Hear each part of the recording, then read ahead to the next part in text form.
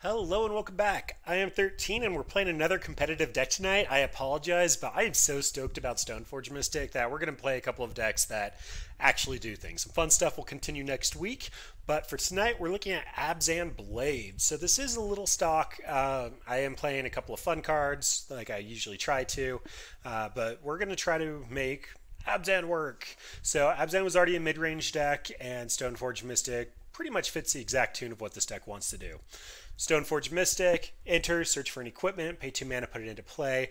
Batterskull enters, creates a 0 0, and when Batterskull is equipped to something, it gets plus, plus 4 plus 4, Vigilance and Lifelink. So you can essentially Stoneforge Mystic, turn 2, get a 4 4 lifelink Vigilance creature. You can move it over something that's good. Uh, last night we played with Sword of Feast and Famine, and tonight we're going to play with Sword of Fire and Ice. I believe Feast and Famine is technically the better card in Modern just because it fits the colors a little bit better, but I'm always happy to be proven wrong. We're going to test out Sword of Fire and Ice just to see how it goes. Um, also worth noting that we are playing a discard deck, so I really don't want a sword that incentivizes opponents to discard cards when we already have a Liliana the Veil in play. So this might actually be a better fit for the deck, despite the fact the colors aren't as good of protection in Modern. But we'll see how that goes. Uh, again, kind of just testing that, kind of want to see what's going to happen, but my girl Stoneforge Mystic is really going to try to go the distance tonight. We are playing this on the shell of Abzan. It's fairly similar to Jund if you haven't seen it. Uh, it's going to be a lot of Liliana the Veil, Tarmogoyf, Grimflayer. Uh, Grimflayer allows us to stack our deck, get maximum value out of Lingering Souls. Lingering Souls has really good synergy with Liliana the Veil.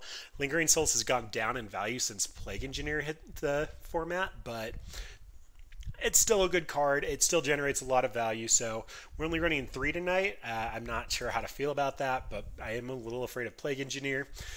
And then, last but not least, this is on the shell of Tarmogoyf, Path, Fatal Push, Inquisition, and Siege Rhino. For those of you that didn't know Siege Rhino, he basically stomped around standard. He's a 4 mana, enter the battlefield, drain for 3 that eats removal. And if he doesn't eat removal, he's a solid body with trample. So he just does a lot of work. Siege Rhino is just one of those cards that overperformed. We had the fixing in standard. We definitely have it in modern.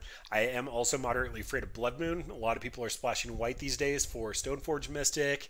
Uh, they have a little bit of time to slow down, try to grind it out. So Blood Moon might be a problem, but yeah, we're going to try to run that out. And we are on Abzan Stoneblade tonight, playing with some powerful cards. But we got our first matchup. I need to correct the record.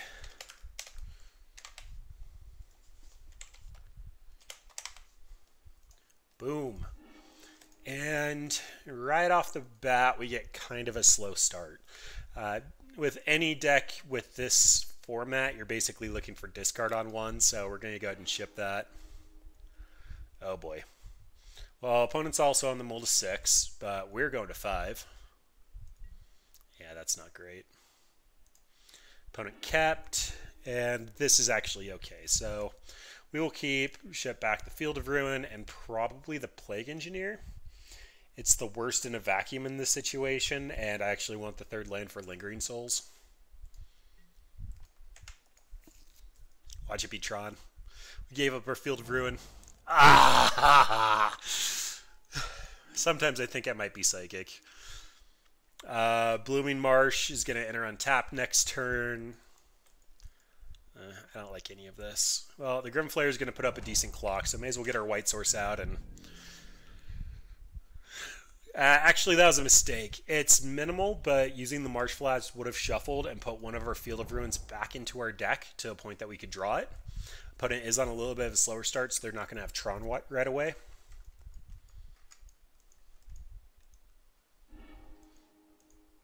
Yep, they found a mine, so they have Tron set up for turn four.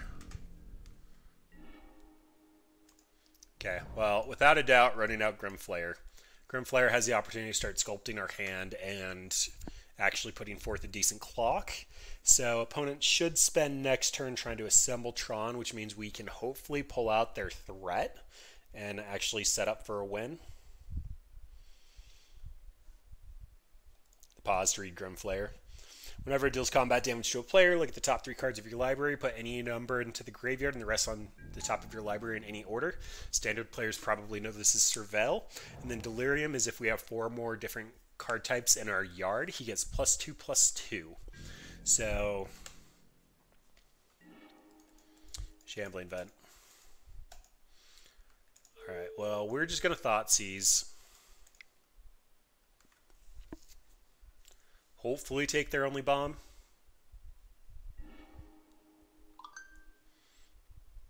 Huh. Okay. Well, it's going to be Karn. But that's not an overly scary hand.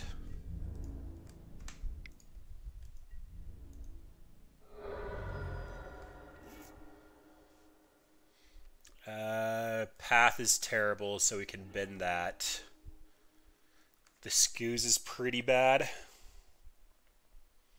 but it's also a threat.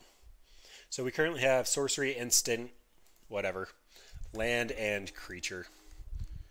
Let's make our Grim Flayer a 4 4.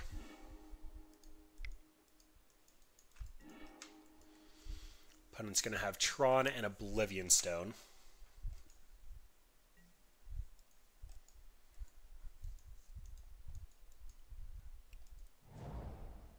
There's the tower.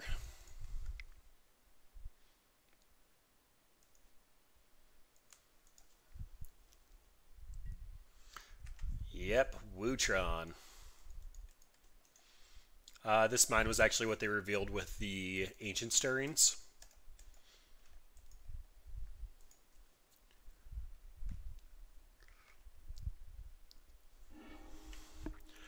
Brad, well, I don't think you were here for Mulligans, but I ended up tucking a Field of Ruin. Okay, well that path would have been nice. Yay for ripping a Wurmcoil. Hmm.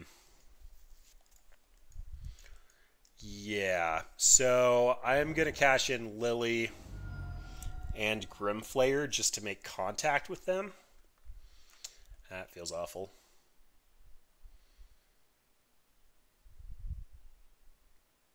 Overgrown Tomb is going to be our most used color.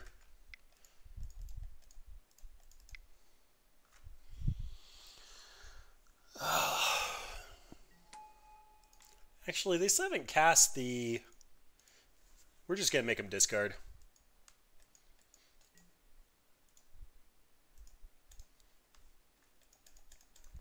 So what I could have done there was Edict the Wurmcoil, attacked in with Grimflayer. It'd get blocked by both the lifelink and the Death Toucher.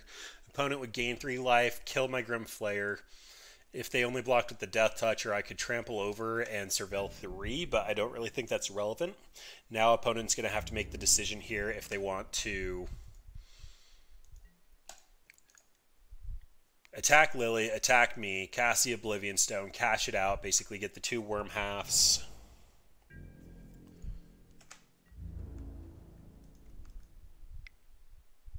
After Lily. Uh, yeah, we'll block. This Lingering Souls will be able to block Wurmcoil for a while.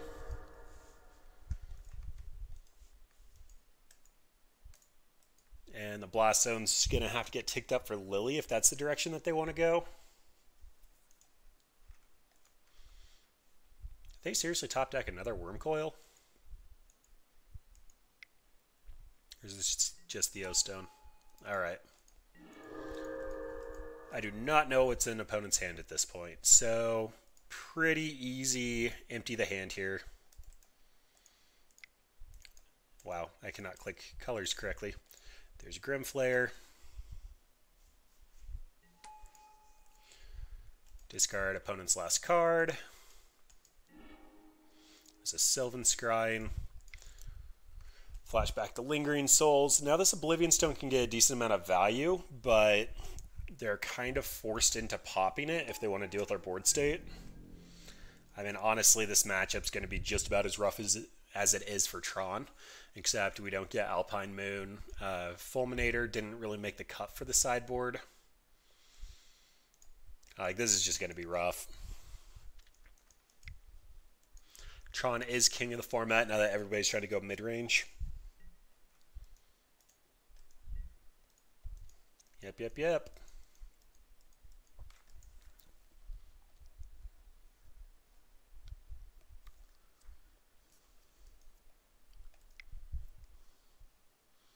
Didn't even think twice about it. Uh, probably could have been a reason to hang on to the lingering souls, but honestly, it's not very relevant. We need to find a path here, otherwise we're pretty much just scooping it up. Yeah, we're not going to win this battle. Yes, I could edict them. Yes, we could figure some stuff out, but it's not like it really matters. Surgical comes in so that we can try to take them off their lands. Dampening Sphere comes in. Fracturing Gust is a consideration. Not a huge fan of it, but it is a consideration. Let's see what we're cutting. Lingering Souls is slow. Uh, Liliana, Last Hope doesn't actually do much for us. Plague Engineer doesn't do much for us. We're basically looking for things with a fast clock. Push is bad. Uh, path is okay. I'm not sure if opponent's going to stay on the Wurmcoil plan because we're Abzan. For Jund, they always bring them in, but for us, we can actually exile. So I don't know. That that's slightly rough. Uh, tireless tracker is going to be a decent clock. The fracturing gust is fine, but seeing as how we have four artifacts, that it's basically going to be this versus this. This is in here for Urza and potentially hardened scales. Uh, Pulse is definitely coming in. So what would I rather have? A Plague Engineer or Lily Last Hope or the Fracturing Gust? All right. Seeing as how we had our colors, I probably should have just kept the Field of Ruin. But that's results bias. That's not how you should actually think about things. This is fine. I'd love to find another land, but we have our turn one play or turn two play. It's a clock. No Field of Ruin, no Surgical, but this is how we try to get things done.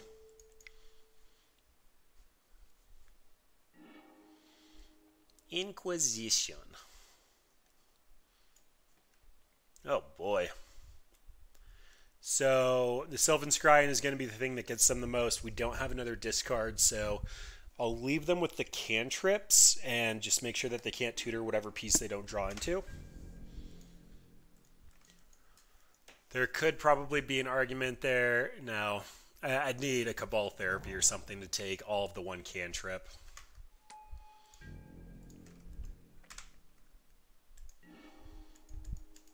Ugh. All right, well, that does make things a little bit easier. That means I get a Grim Flayer and then put out a Damping Sphere.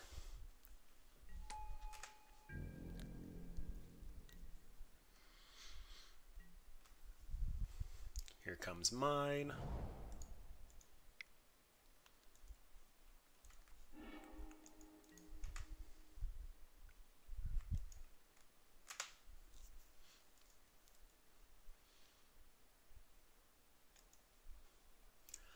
That pause is not good. I think that means that they might have potentially found a Sylvan Scrying.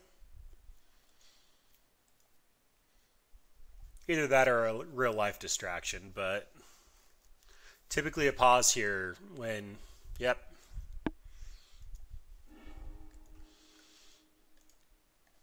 All right, well, you play Tron because you want to get lucky. Let's smack opponent around a bit, figure out what we're looking at.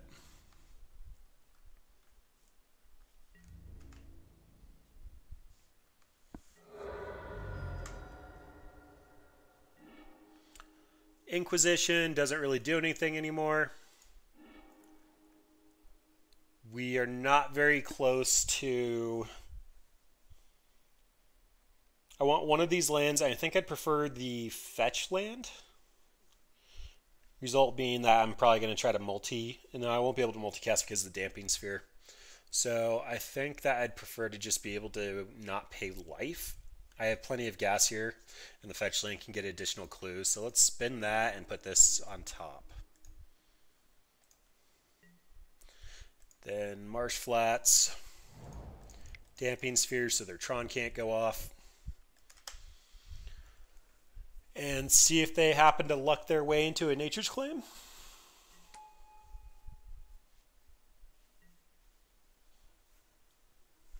Never didn't have it.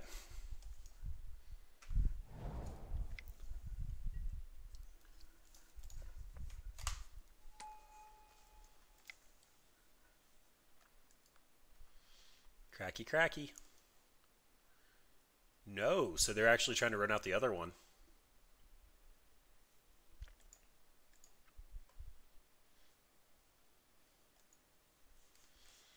If anybody would be used to damping sphere math, I'd assume it'd be the Tron opponents.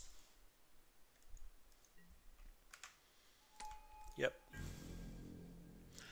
Ooh, Pulse would be funny just because that's not the star. That'd make it so that they just get destroyed.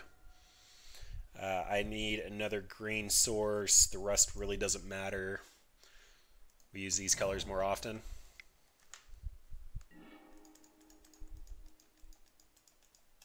Oh, yeah, fetching doesn't work if you stack your deck with Grimflayer. Uh, I have land sorcery, so I think this means I just smack opponent with Grimflayer again.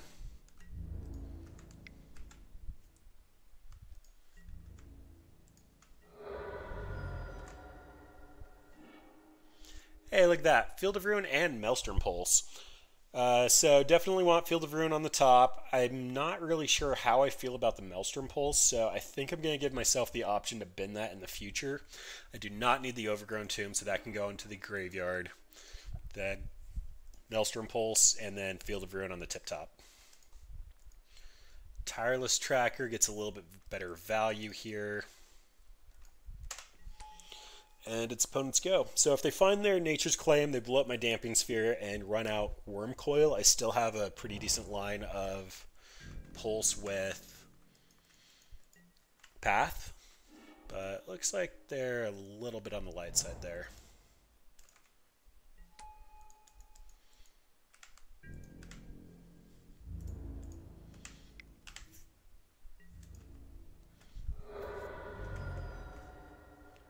Find me something decent. Oh, there's an Assassin's Trophy. All right, well, I'm set on creatures. I'm still not sure how to feel about this Maelstrom Pulse. We can keep floating it. So we can put that on top and the Assassin's Trophy in case I need to blow it. That gives me the line of cracking the clue and then trophying. But we came here to Siege Rhino. Yeah, boy!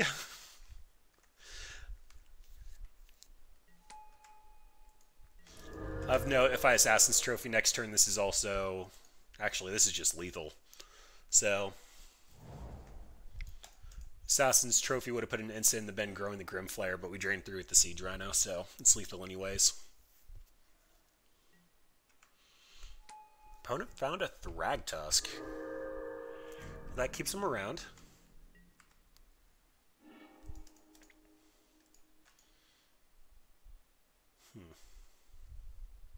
So I can path Thragtusk, but that means that the Tireless Tracker can't get in. Both of these have trample, so I'm okay to move to blocks. I think the plan here is just attacking with these two guys and hit them for 9.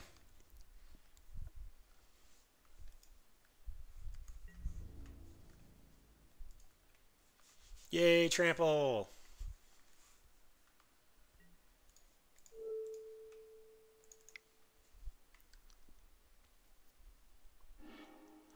Then I'm going to try to stack this so I get a land on top. I can crack the clue, play my land for turn, and still be able to Assassin's Trophy on their turn.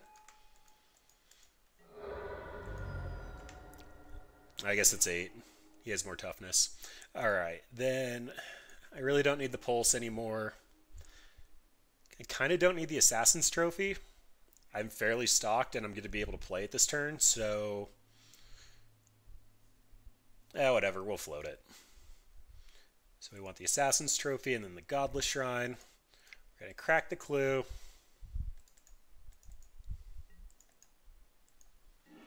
Shock this into play.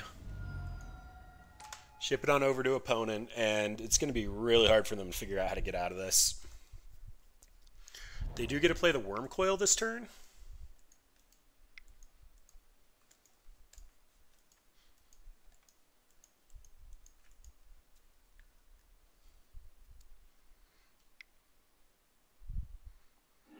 They actually might be able to Karn here.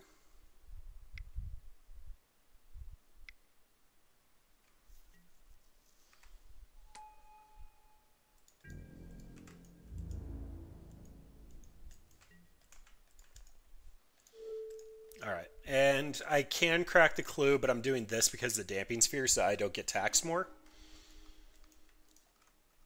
Then I'll draw the Assassin's Trophy, trophy the Life Linker, and then I should be able to kill the opponent here.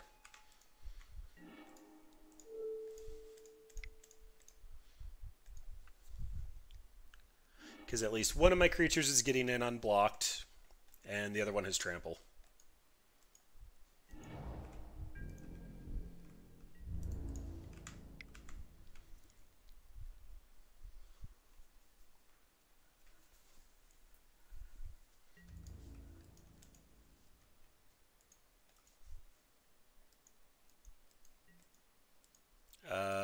Pretty sure that I'm safe here, but I'll just grow the tireless tracker. Yep, they did. Alright, does anything change here? Don't believe so. I really like Lily Rebuy Siege Rhino, but it's probably not good enough. I think we just need to apply a clock and go for it. Bonus points for Field of Ruin Surgical. Matchup doesn't get much worse than Tron, though. It eats mid-range. We don't get Blood Moon, we don't get Alpine Moon. Of Summer has pushed Fulminator out of the format as best removal. Jund is even moving towards um, Stone Rain, just because it's not black. And this hand doesn't do anything. This hand does stuff. It's not great, but it does stuff.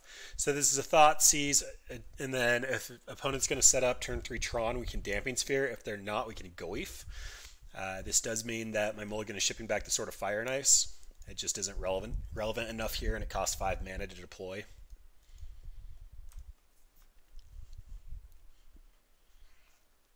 Opponent's currently at four cards, and we have a Thoughtseize.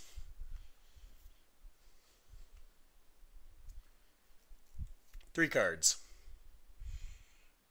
Might be a concession. I mean, it's possible that three cards are just Tron lands and they top deck Karn on the third turn. Do I want to pay two life to check what they got? Probably. Oh, I even get Stoneforge on two now?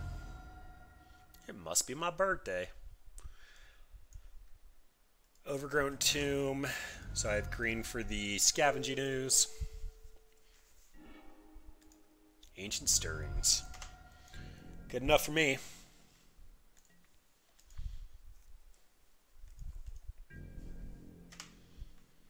And not a land. Goyf is currently a 2-3. It's not going to get much better, so may as well Stoneforge Mystic.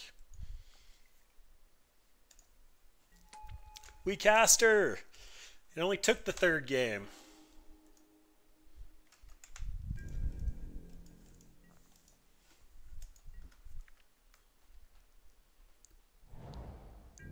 Opponent found a Blast Zone. Windswept Heath is good.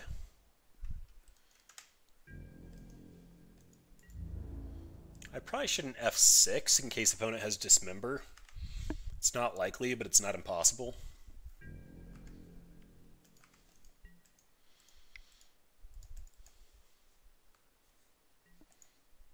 Batterskull comes in.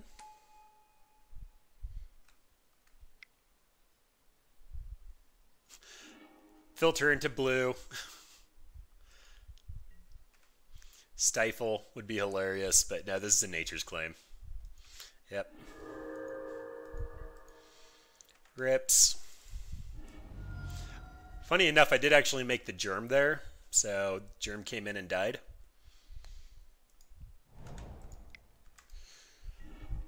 Godless Shrine. That's pretty good. So, again, opponent could have Dismember. I honestly don't think that's very likely, so I'm just going to run out my hand. Goyf is the biggest attacker. Scooz is the biggest threat. Opponent's not close to Tron, so I really don't want to show the Damping Sphere yet. But opponent currently is on a three turn clock, not including this turn. Hopefully grow that a bit with the Goyf.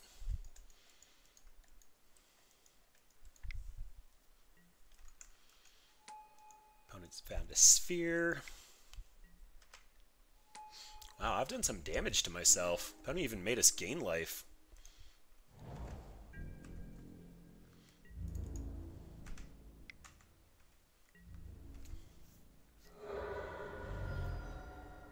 Uh, so opponent could potentially have an Oblivion Stone. They get to crack the Expedition map, but they're not assembling Tron this turn. So I'm just going to run out the other Skoos and just try to close the clock. So they're currently taking 9 damage. Mm, I can't grow it at all. Either way, the Damping Sphere feels a little safer in hand at the moment.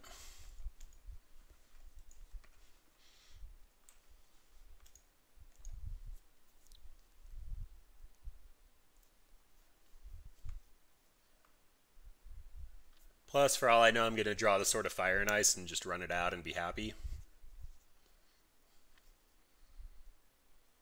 I guess that would have been a reason to Damping Sphere, so Sword of Fire and Ice is lethal next turn.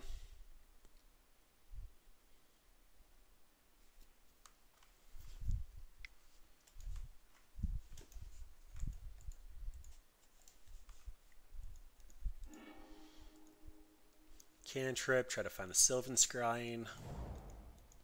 They did find a land, but it wasn't a Tron piece, and they scoop it up.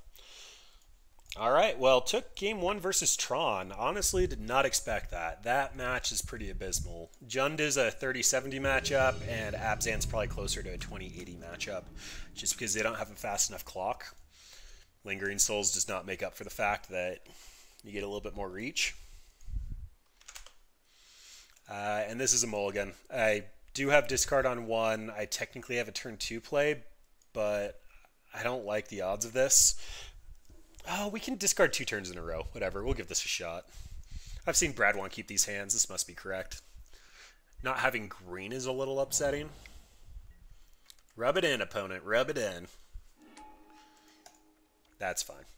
Okay, so this is basically going to be a check for Utopia Sprawl.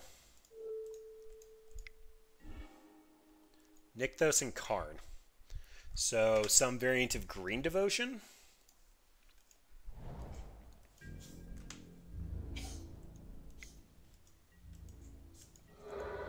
Alright, well their devotion count isn't very high at the moment, so I'm going to Grimflayer so I can set up my future draws. I'm expecting opponent to not have much removal. Actually, that may have been correct because Lily can kill the Arbor Elf next turn. And the land drop means Karn's coming out.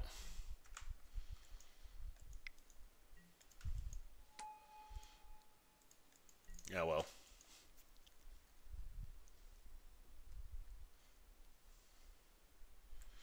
Of note, I can actually path their creature and Thought Thoughtseize Liliana or Grimflayer and actually get Delirium and just kill Karn.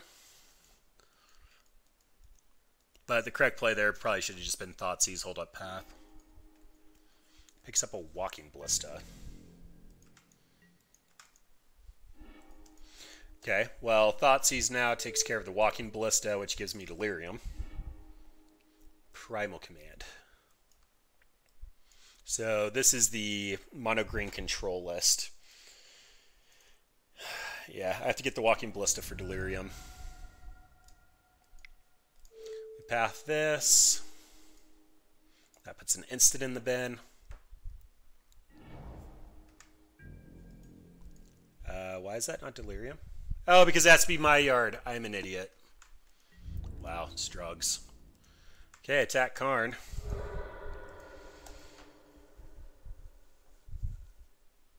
Primal Command can hit my land.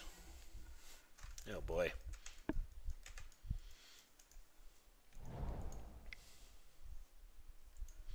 Opponent's likely running out the Walking Ballista, though. No, they're okay with Karn dying?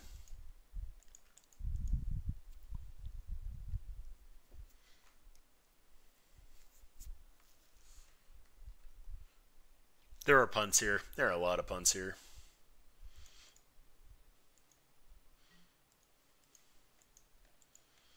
Yep, they hit my land.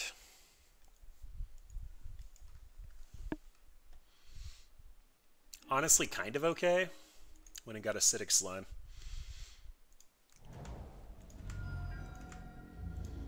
Kill the Karn.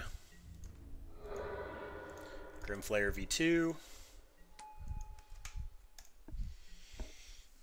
Then if it really does come down to it because they're going to acidic slime and try to hit my land here, then I can just Thoughtseize away the Liliana, get 8 power, and start stacking my lands. Overgrowth gives them 3 mana off of that.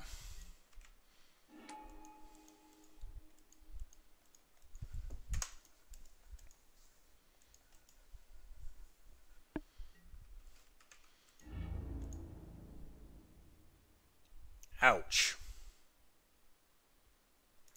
Okay. Well, apparently was F6, so I don't get multiple triggers of this, but put in graveyard, put in graveyard. Turn off auto yields. Put that on top, play our land, and Thoughtseize away the Walking Ballista. Life total starting to hurt. Wait, what happened to Walking Ballista? Oh, I Thoughtseized it before. Oh my gosh, my head is so not here. Well, we have Delirium now, thanks to Grim Flayer dying. Opponent currently has no action, though, unless they top decked it. We should be drawing a land for turn.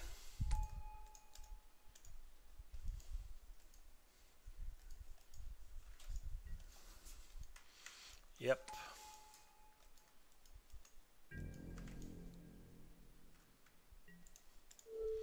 Kill you. So I'm going to crack now so that I can actually stack my deck and not have to shuffle. Uh, my life total is getting kind of dangerously low, so I'm going for my green source. We get to Lily.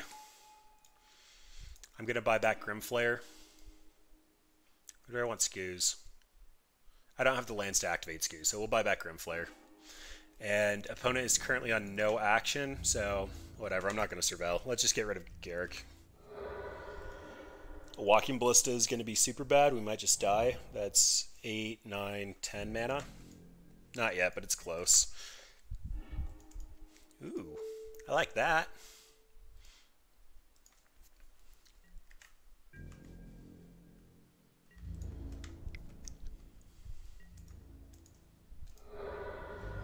Of note, we should have surveilled three more times and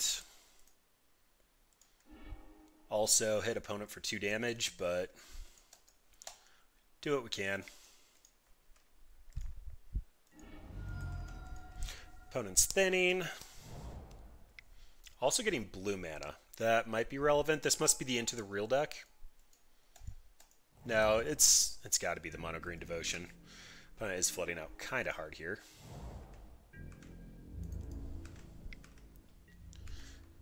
Okay, putting opponent to two been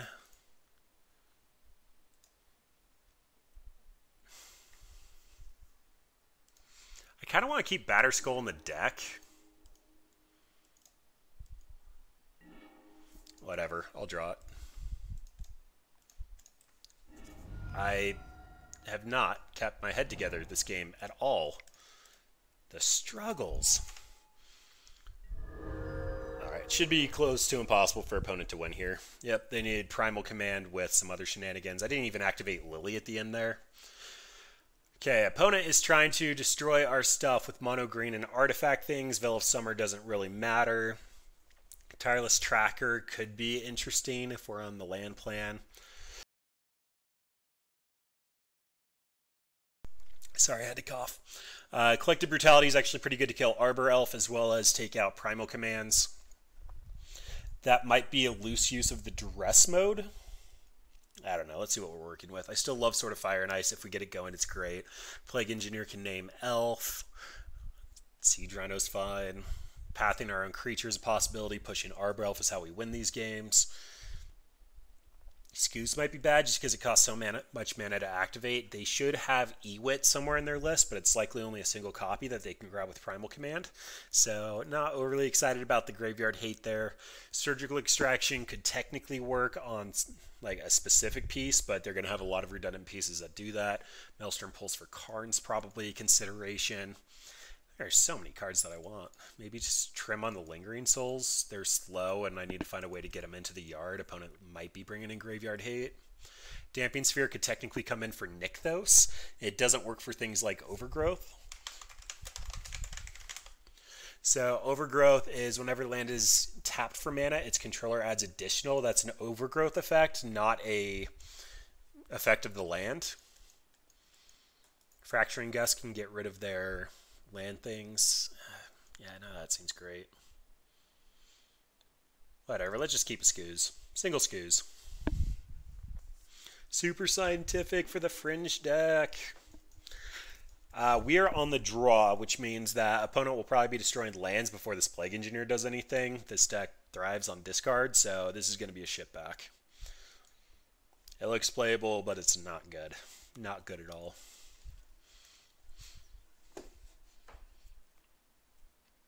I also wouldn't put it past opponent to be on like an early Karn.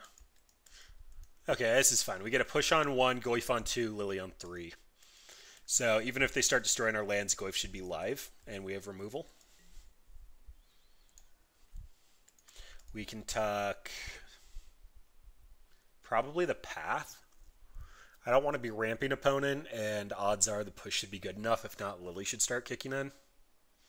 I want the three mana so I can actually cast Lily, as well as the fact that they're trying to destroy land, so I'm not chipping any back.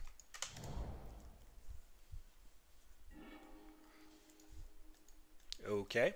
Uh, on the off chance that opponent doesn't drop a creature, I guess that means I'm leading on the fetch land. This is also covered versus some really early land destruction. They just can't target a fetch land. Hi, Arbor Elf.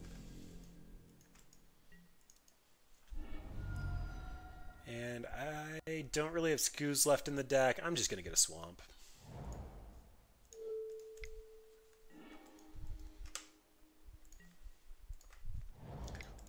More lands are fine. We got Beefy Goyf.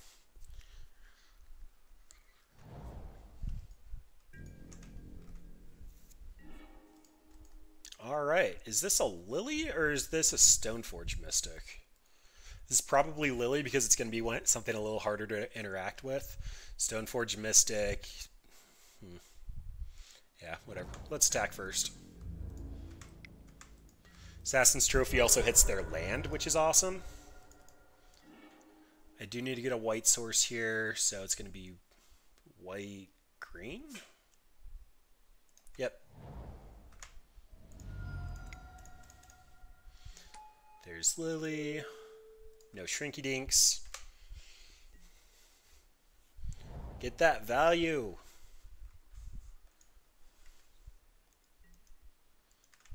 All right, Acid Moss, Destroy a Land Ramp.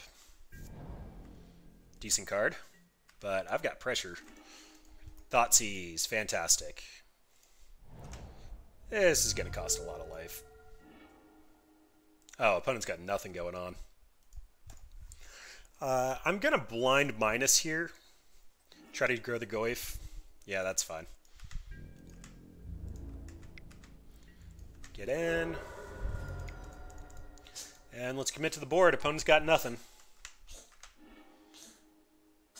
Oh, I milled the Batterskull? Okay. Note to self 13. Don't do that in the future. That that was a bad decision. That was a very bad decision.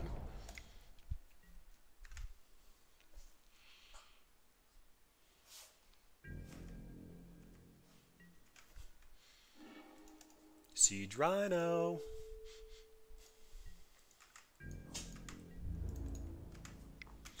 So what might have technically been the correct play there was to hold up the Stoneforge and Assassin's Trophy, but this puts opponent dead to just the Goyf next turn. So I don't necessarily need to put the sword into play. It's fine to draw it out of the deck, but it's not like it does anything that relevant. Yep, you get Hornets, so will start ticking them away. This line is a little weak to Ewit just because they can pick it up and replay it. But hmm, didn't hit a land, so Siege Rhino's not lethal. I don't really have Trample. Hmm. That is actually awkward. So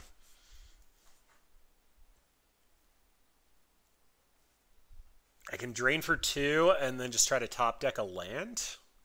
Opponent's on top deck, so I really don't think it's that relevant.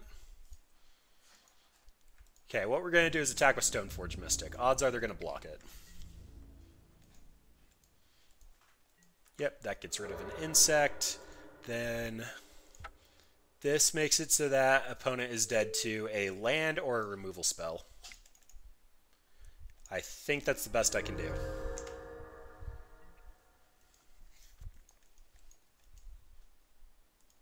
Or Lily. Yeah, Lily would have done it too. GG's opponent. Move up to 2-1. Taking out Tron and Land Destruction. So, Rocky Little Abzan Blade tonight. Uh, I guess you could technically call the Siege Rhinos a fun of. We ended up trimming a Lingering Souls just because I'm afraid of Plague Engineer. It's been making a splash everywhere, and Mardu's actually been a real deck despite Faithless Looting getting banned. Uh, young or Seasoned Pyromancer still really good. Unearth is very good synergy with it. Uh, running a couple of the Scoozes. We did trim on two Goyfs and so that we could have three Grim Flayers, but that's just because I like the synergy with the deck. Oh, we're on the play. Is Inquisition into Goyf and then some awkward cards. Like, I'd prefer you be Liliana the Veil and probably just another land, but eh, this is fine. Inquisition should put opponent off their game plan enough that this is acceptable.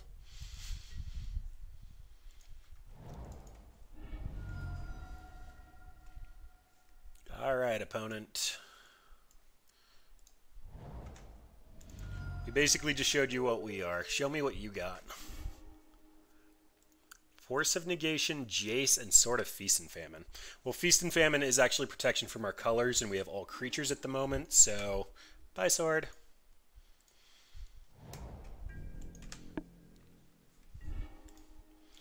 Fatal Push can deal with the Stoneforge Mystic that's coming. I do need to fix my colors here, so taking some damage.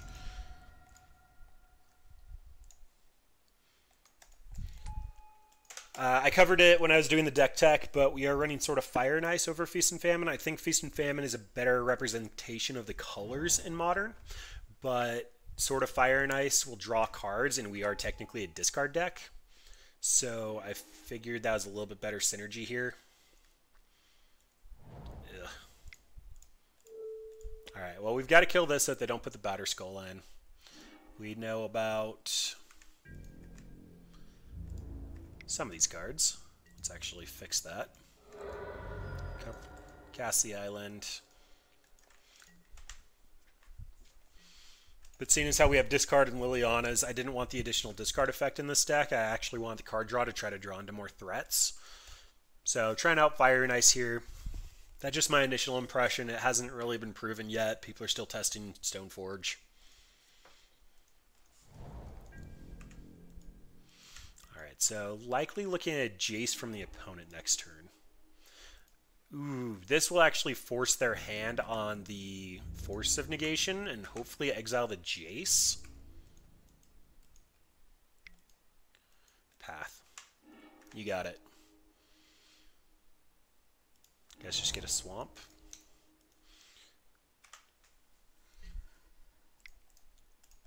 Then next turn I get a Siege Rhino. Exile Jace. They didn't exile Jace. Uh, I didn't see any black from them, so I don't think Lingering Souls is a concern. Uh, Vendilion Clique might be, Snapcaster might be, but I don't think Plague Engineer really has a home. And Siege Rhino has Enter the Battlefield effects, so let's do that kind of expecting a detention sphere here. If it's not just slam Jace. Yep.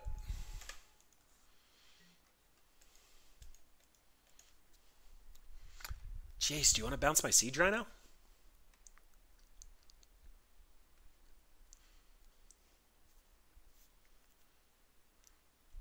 Colonnade is two lands away from attacking. I know opponent has a Hallowed Fountain. Well, they're brainstorming now. I should assume that they have a Hallowed Fountain. They are probably going to try to tuck the Batterskull, though. Look at that. That's a fantastic card versus control.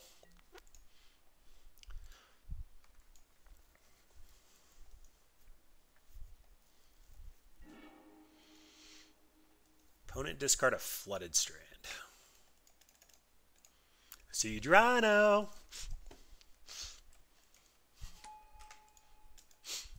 We've cast so many Siege Rhinos tonight. I'm having a fantastic time. I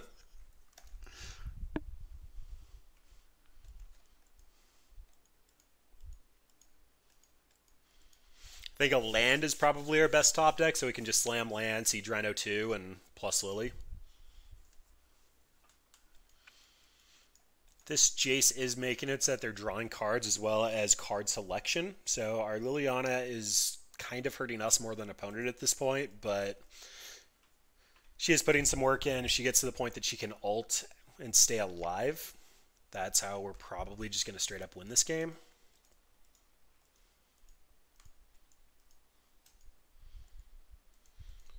Opponent did draw a card off of their brainstorm though, so they haven't gotten much deeper than they already knew about.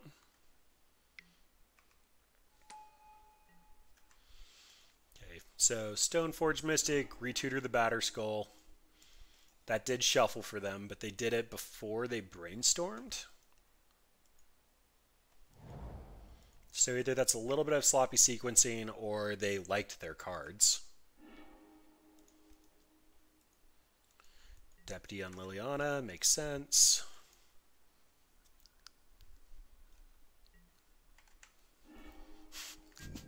uh, we're gonna drain for six with these siege rhinos.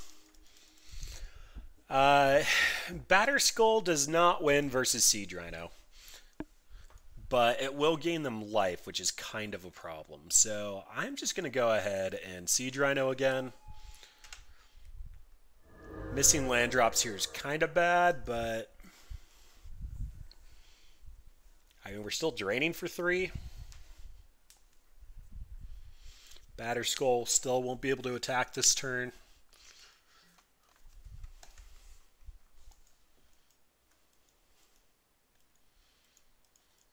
Opponent does have enough mana that they could just bounce Batterskull and replay it.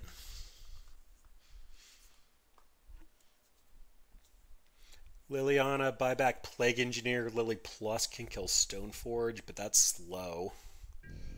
Celestial Colonnade will be attacking next turn.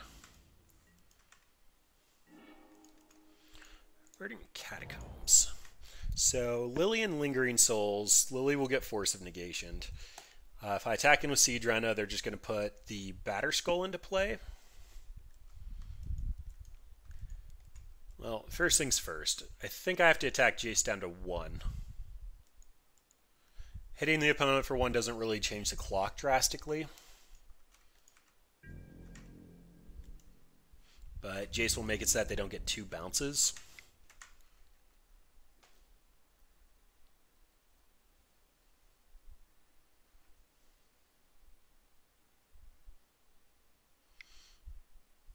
And honestly, this just repeatable source of card draw is going to be a problem long term.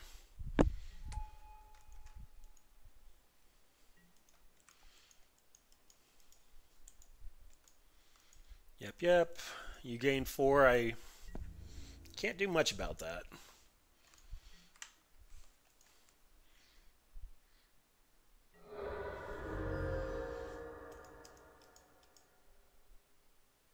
Wait. Oh, why do I keep thinking Siege Rhino is 5 power? I'm bad at this game.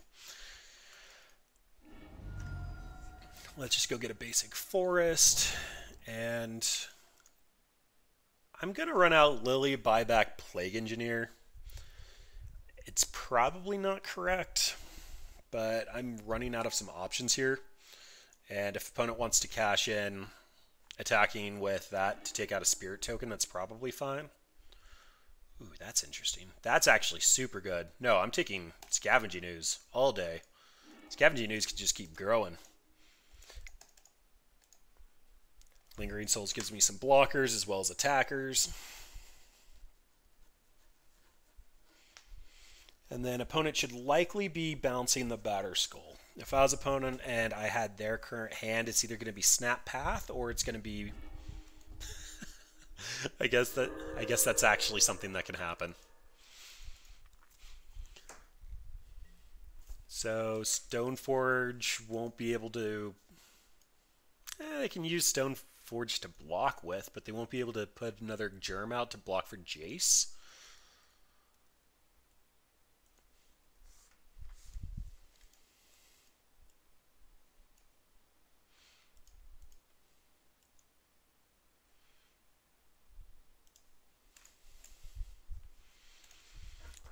trying to put up a fight here.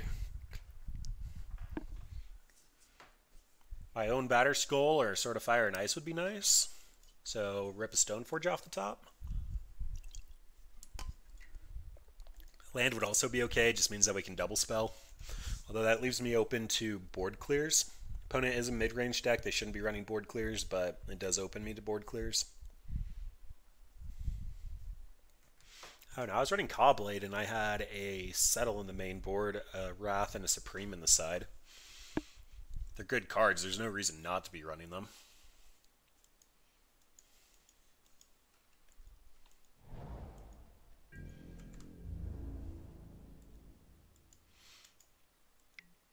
Alright, so it looks like opponent's willing to block with Celestial Colonnade, or they have a path available to them.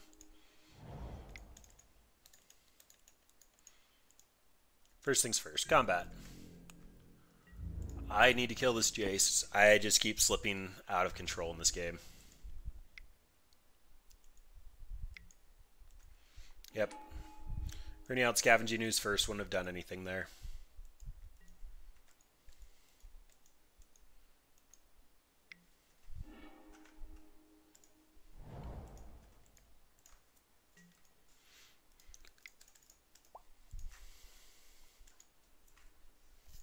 Siege Rhino.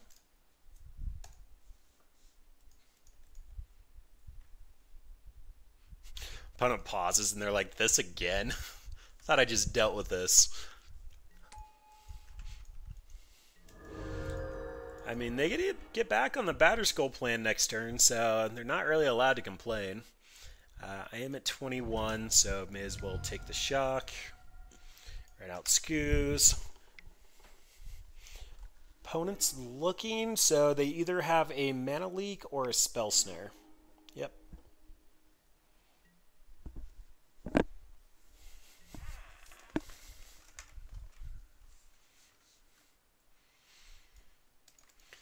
Kind of running out of options here. The nice thing is we go post board, we get a ton of tireless trackers, Veil of Summers. We we have cards to play with, but they're going to outvalue us here just because they've had an active Jace for several turns. Rhino does work, but so does Jace.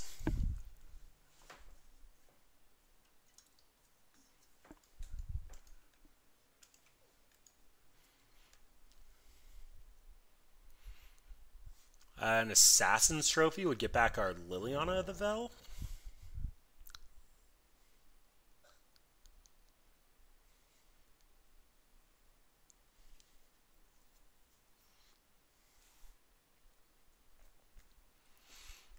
Opponent's been taking for a while, given the fact that we're tapped out with no cards in hand.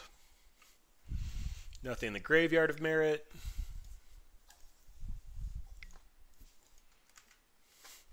Oh ho ho ho.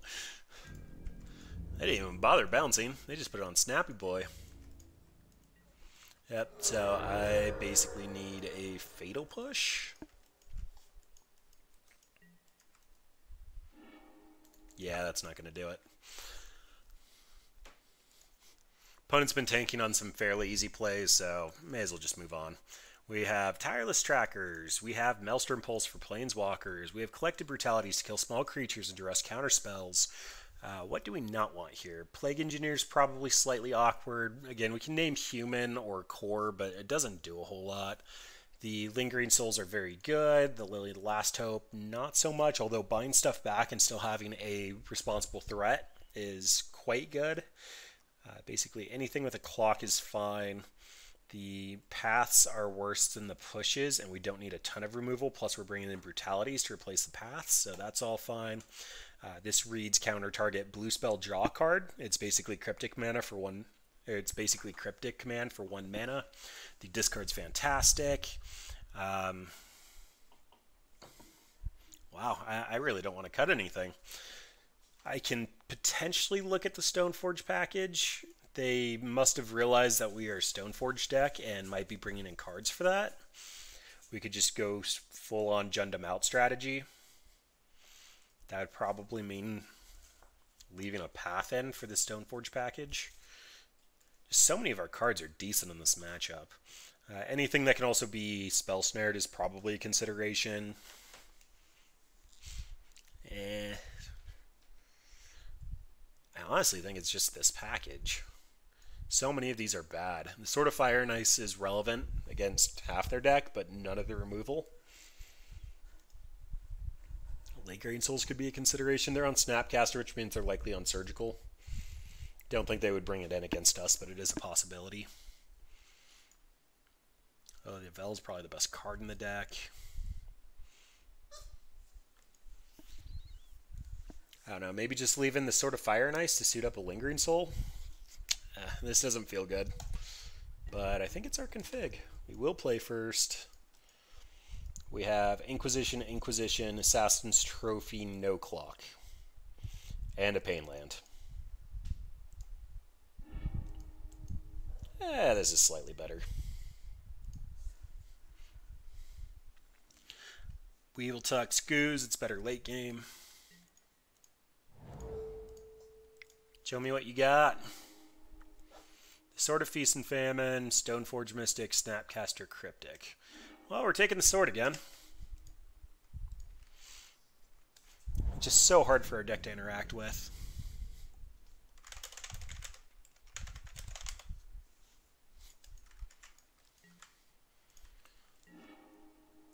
Colonnade down. This has to get me a white source as well as a green source, so we're actually going Temple Garden. That feels awkward. Grim Flayer.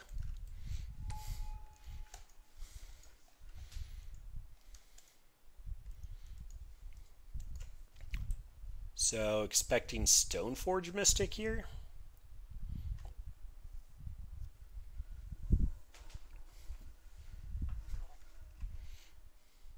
I could also see Snapcaster try to ambush Viper the Grim Flayer. But that's opponent betting I don't have removal. Opponent also very well could have drawn into Path to Exile.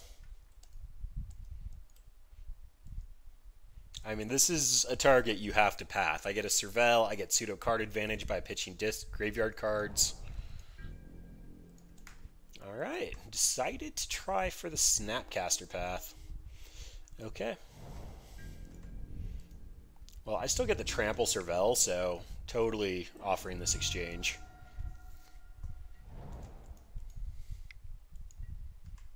Yep.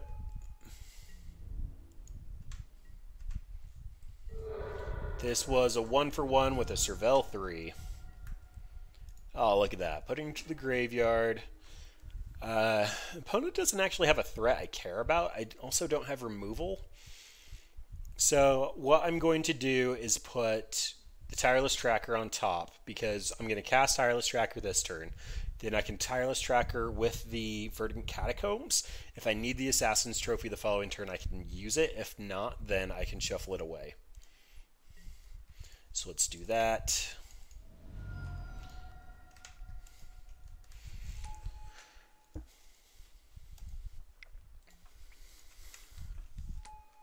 Okay, and opponent should have a Field of Ruin here. They found a Scalding Tarn.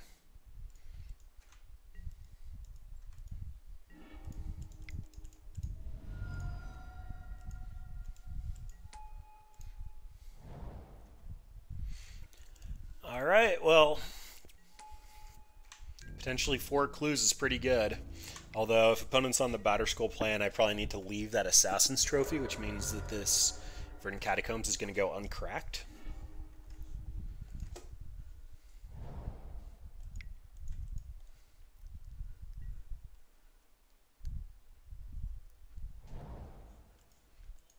If opponent has been reading the game log, they should know I have a card on top I care about. Okay. Uh, so opponent has a cryptic command, which means I need to make them commit into the Stoneforge Mystic.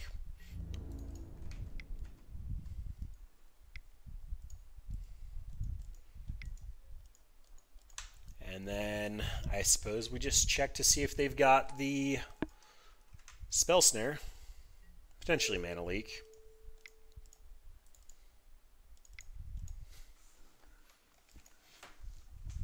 Do you got it?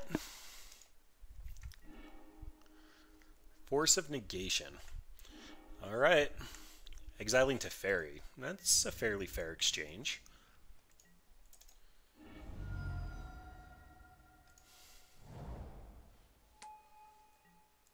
So they're going to gain the 4 life from the other Tireless Tracker, so this is going to be damage neutral.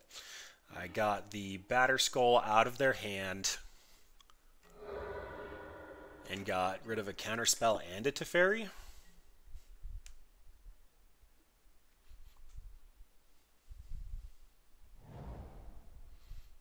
If this is just suit up Stoneforge Mystic, there might be a problem. No, Jace. This opponent really likes the bounce. I mean, it's worked for them, but I usually don't get my creatures bounced by Jace this much. I found another tireless tracker. All right. Um, I'm going to try to find my land. That's not a land. So, opponent has a cryptic command.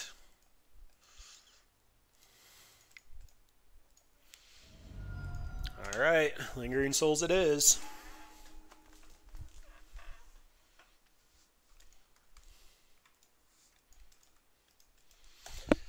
No, opponent had Cryptic Command. There also could have been an argument to Tireless Tracker there, but I'd prefer to Tireless Tracker when I know I'm going to get a clue out of it so I can try to stay ahead in this race. Drawing a card there to try to find a land was probably my best out for just getting any lingering souls in the bed, make surgical extraction worse against me.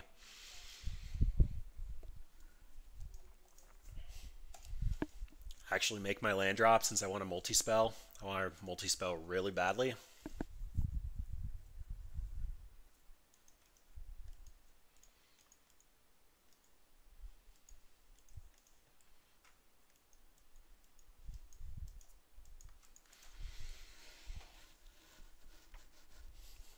Opponent doesn't find a flyer or a land, a land would allow them to activate Colonnade. My spirit should be able to kill Jace here.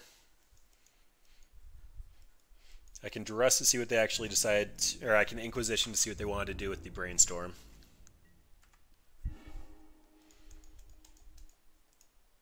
Alright, first things first, show me what you got.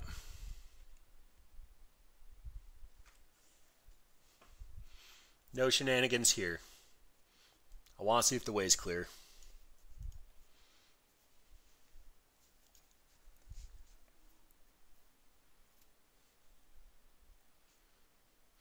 Opponent is seriously considering tap down counter. That's actually kind of impressive. Snapcaster for Force of Negation?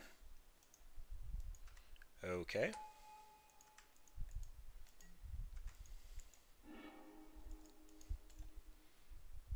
I suppose that makes sense. So killing this Jace isn't super beneficial for me, but it's still the best line that I've got. I can Lingering Souls, or I can... Yeah, whatever. So what's going to happen here is I'm just going to kill this Jace, so opponent has to commit mana into their next Jace. Then run out the Lily and eat the Snapcaster Mage.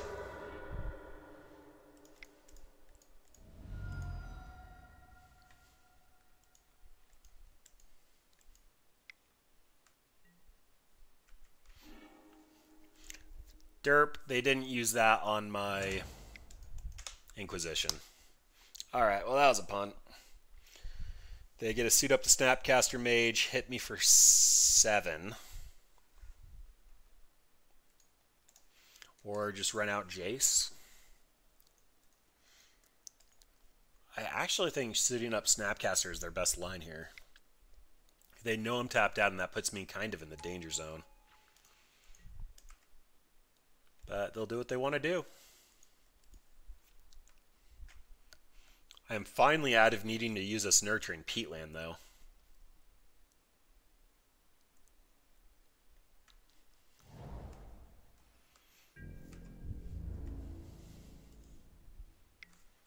Yep, you got it. Man, I could have played around that last turn so hard. Alright, let's hit Jace.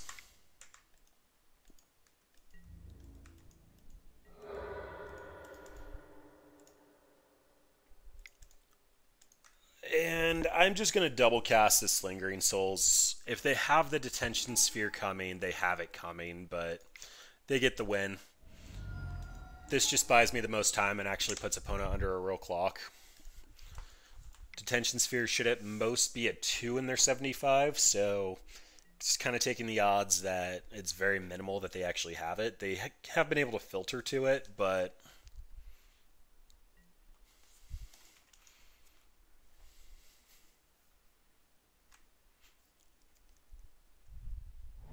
Spirit should buy me enough time to start rebuilding with the trackers. Yep, they have it. Oh boy. The Lily Last Hope was a punt that probably ended the game.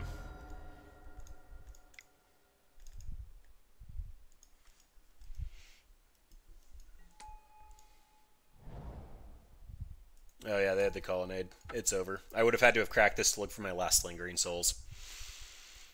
Yep, blue white gets to take it. Uh, partially my fault. I will own up to that. I didn't realize that opponent had set up for the force of negation without intent to actually cast it. But you live and you learn. Abzan Stoneblade so far doing all right. We did take down the Menestron as well as Mono Green Control, which is the land destruction deck. We've put up some decent results. Uh, Jace has been active for a couple of turns too many. I think the one thing to note there is I probably want a Phyrexian Revoker or potentially a Pithing Needle in the side. Uh, potentially just more Assassin's Trophies. The grindier that these matchups are getting post ban have incentive to get planeswalkers off the table as fast as possible.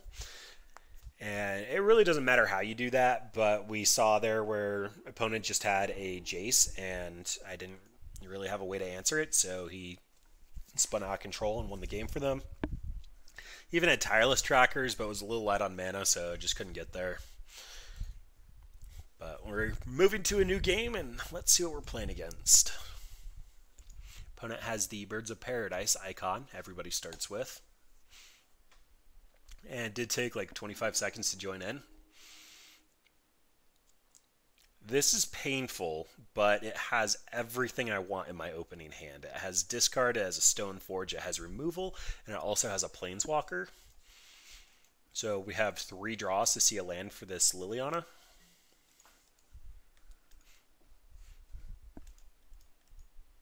I mean, push your discard on one. You just can't beat it. Just wish it wasn't off a pain land.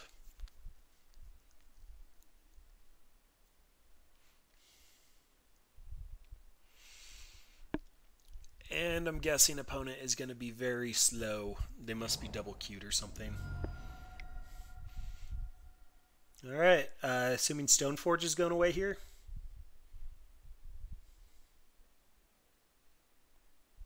At some point today. I mean, may as well. Oh, it's a Gravecrawler. Is this an attempt to make Hogak work? Awkwardly enough, I don't have the mana to cast that. Okay, if this is Orzhov zombies, actually it'd probably be Jun Abzan zombies. This Thoughtseize is really bad. Okay, so this is some attempt at the zombie deck. Uh, the Vengevines are slightly awkward. The Carrion Feeder is going to be most of the gas to recast, but the Undead Augur is how they actually get their card advantage. Seeing as how they can cast the Undead Augur next turn and repeatedly draw cards, I think that's the card I'm going for. I can always push the Carrion Feeder with the trigger to sack this on the stack, so they won't be able to recast it.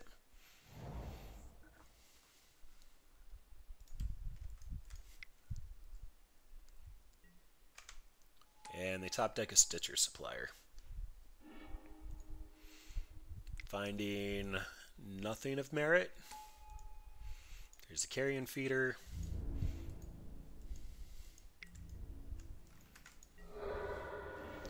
Okay, so knowing what I know, I'm probably... Ah, this Assassin's Trophy will ramp me. Yeah, let's see if they actually take the bait and try to Assassin's Trophy the Stoneforge Mystic. If they do, that gets me Lily, and I can just start chipping away at their creatures. If not, I'll have a 4-4 lifelink against the aggro deck.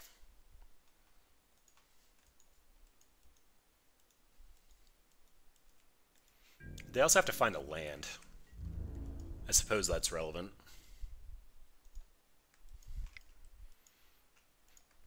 Yep, no blocks. Not gonna let you eat my Stoneforge for free. No! My one weakness, discard.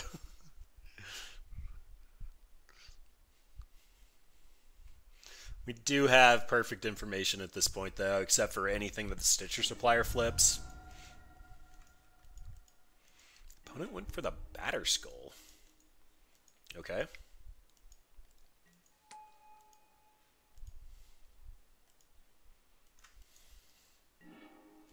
Temple Garden. So still don't have double black. And everything in my hand is black. So that means I'm going to eat the Carrion Feeder at some point in time. Opponent still doesn't have Assassin's Trophy mana.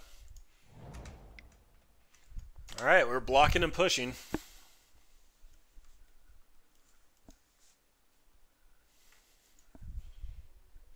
Very, very painful hand.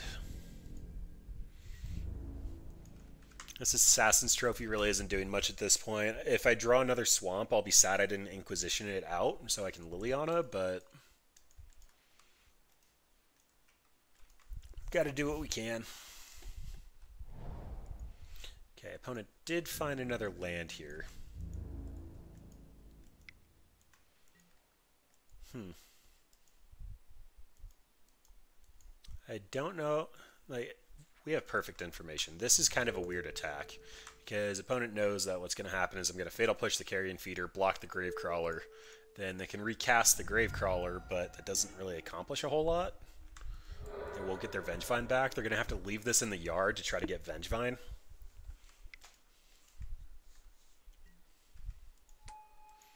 Yeah, I, I don't know what opponent's doing. Hey, look at that. Life is a massive consideration at this point. I'm just going to get my basic Swamp and Siege Rhino because it can block Carrion Feeder. Then next turn can Inquisition away the Assassin's Trophy after I've padded my life a little bit from this... Unless they actually want to kill Siege Rhino. I mean, that's fine.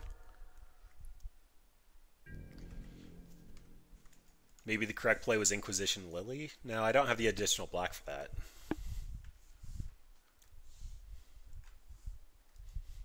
Opponent's deciding if it's worth trophying. This stonewalls most of your deck. I'd assume that it's a decent consideration.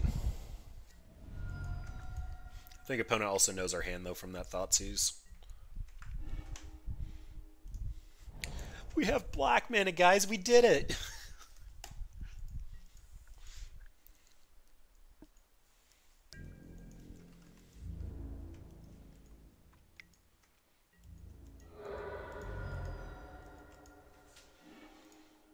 Oh, and look at that. We even got the marsh flats. All right. Let's take a look at what you got. You haven't been casting anything, so it's probably three Vengevines.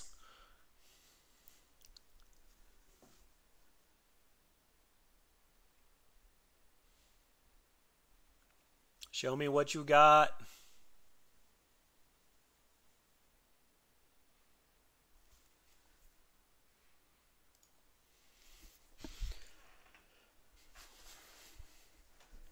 Likely what my follow up is, unless I discard something malicious towards me, is Liliana get rid of the Stitcher supplier.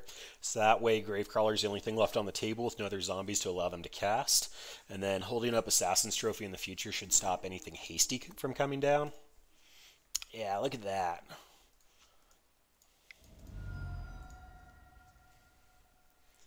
So opponent can put us to five here, and if they find a way to get that Vengevine into play, we can potentially go down to one. So if they just top deck a land, they had three lands coming. Ooh boy.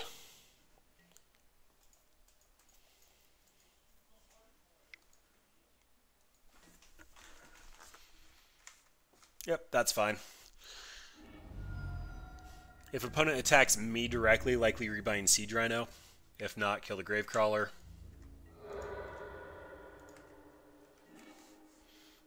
Ooh.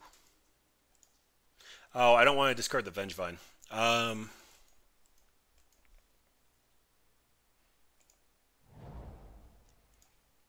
okay, well, let's do that. And that. But we're not going to plus it. Actually, yes, we are, because opponent won't have two cards.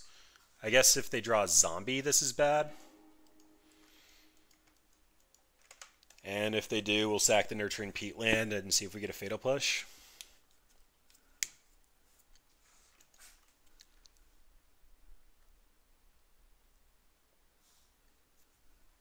Land drop.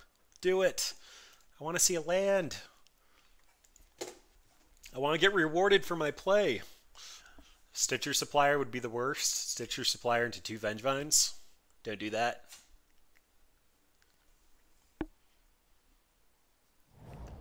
Land! We did it right, you guys. We did it! Alright. Let's go ahead and sack the peatland. Ooh, Stoneforge. That's a good draw. Hmm.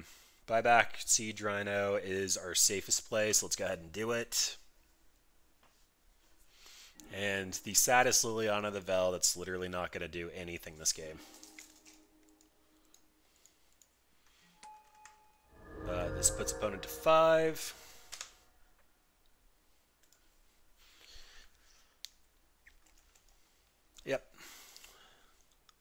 All right, so zombie thing, surgical extraction comes in, Veil of Summer comes in. We get eh, collective brutality's weak. Maelstrom Pulse could be situational. This is not a grind fest. Batterskull is going to be fantastic because they're an aggro deck. Lingering Souls can chump block, but I'm not 100% sure of their value. The Sword of Fire and Ice is super awkward. It's only good if we see the Lingering Soul, so I'm going to put this in a consideration pile. Goyf should be bigger than their threat. Scooze is fantastic in this matchup. Grim Flayer might actually be awkward. Uh, Plague Engineer just seems fantastic. We call zombies on the game's over. Any of the removal. Fatal Push is a little bit on the weaker side, but it can also grab their utility creatures that don't come back. Yeah, I'm not ecstatic about this package, and this is a temporary removal spell, so it'd probably be between this and Grim Flayer. I think I'd prefer to have the removal. Yeah, we can submit it like that.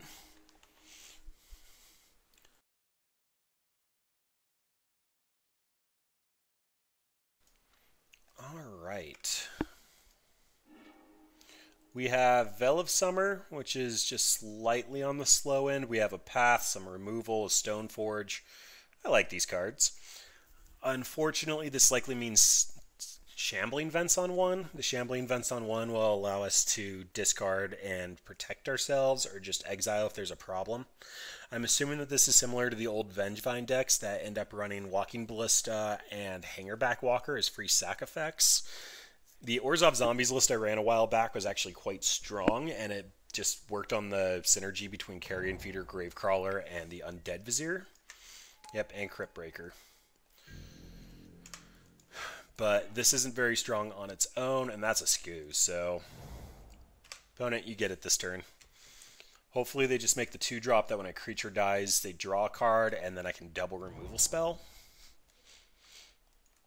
I mean, that's my best line.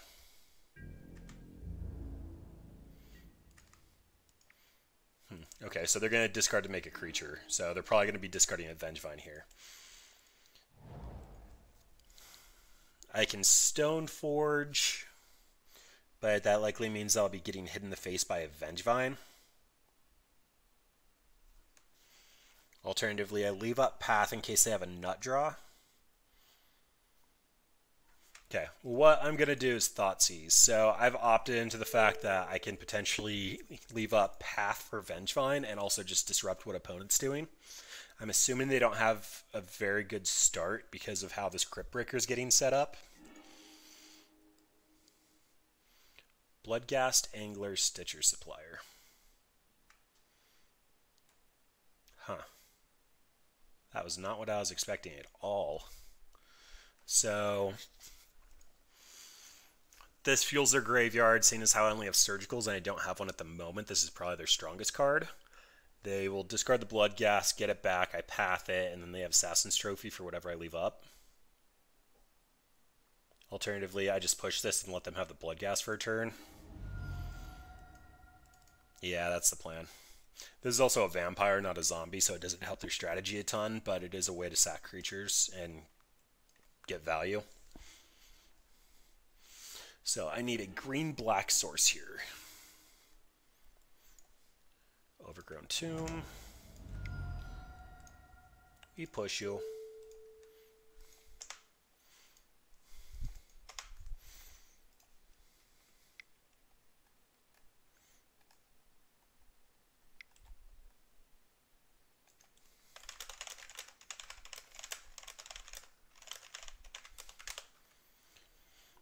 All right, opponent. Let the push resolve. Pushy, pushy. Wait, why didn't you get your zombie yet? Did I click on Bloodghast? I'm an idiot. Alright, whatever. You have a 2-2. I have a Scooze. We'll work this out one way or another. At least I don't have the sack outlet for the Stitcher supplier yet. As of Summer would have been decent versus the Assassin's Trophy, which is the primary reason I didn't consider taking it. I don't know why I took the Bloodghast. I was talking about them discarding it to the Crypt Breaker, and I must have just flooded my mind with the thought of it's going to end up in the yard.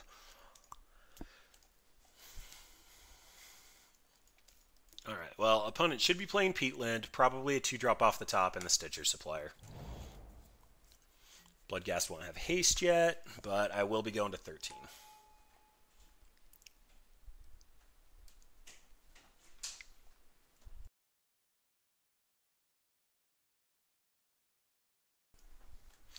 All right. Opponent, what did you find? Stitcher Supplier. Surprise, surprise. Discarding a Vengevine? That's bad. And a Gravecrawler. Yikes. If I would have properly discarded the Stitcher Supplier, this would be a non-game, even if I don't find another land. But instead, I'm taking some beats. Windswept Heath. So I need to get a forest so I can Scooze and activate, and I need to get have the path open for the Vengevine. So Bad stuff is happening.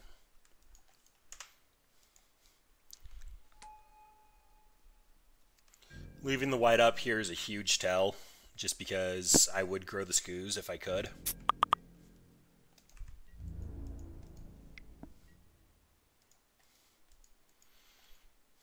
So let's path, but I think I'm dead. Five, six, seven. I go to one. Sorry, two, because I'm blocking the Stitcher supplier.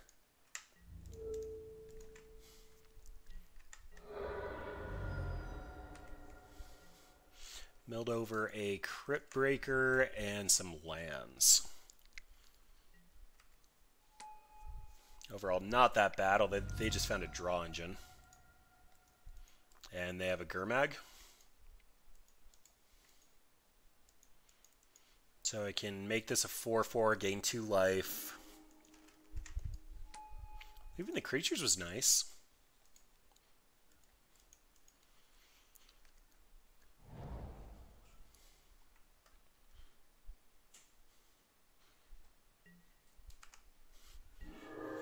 Goyf, Goyf, Goyf. So we currently are accounting for creature, sorcery, instant, land. So I can Goyf, eat something, block. I gain three life, but I'll be taking lethal. All right, well. Yay for trying to describe lines and dying to it. So that was a really good top deck from opponent two. The Stitcher Supplier hitting exactly Vengevine was the only reason that became a game. We'll just run it back. Hopefully click on the correct things this time around.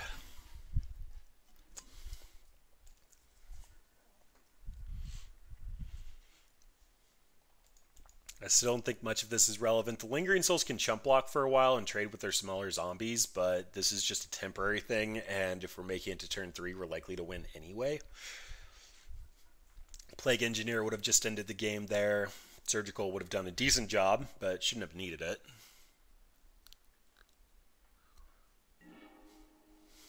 Alright. Play should also help a ton. Oh, look at that. We have Graveyard Hate, Graveyard Hate, Graveyard Hate, and a Liliana. We have no immediate interaction, but opponent won't be able to explode very hard if I keep their graveyard clear, so this is probably fine. This is also a very, very sexy poker hand. I guess it's only two pair, but they're it's a good two pair.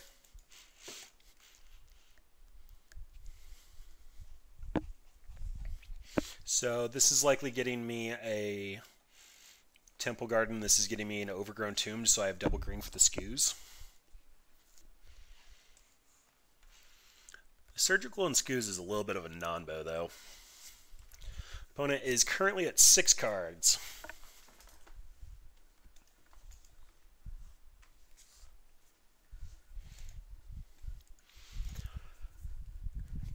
The Orzhov version of the deck was very powerful. Like it, it did some really strong things. But Hogak was around, and so we didn't make much progress on it. As long as we're waiting for opponent, it was basically Crypt Breaker so that you could tap three zombies and draw a card. Gravecrawler to just perpetually cast something from the yard for one mana. Undead Augur let you draw a card whenever a creature died. Tidehollow Sculler was just a value card, and because it's double trigger, if you sacked it with the trigger on, it would permanently exile. Carrion Feeder is a sack outlet. Stitcher Supplier for the yard. Geralf's Messenger went infinite with Yawgmoth. And then Unearth, Inquisition, just a power suite of cards that did powerful things. Um, all right, here you go, opponent.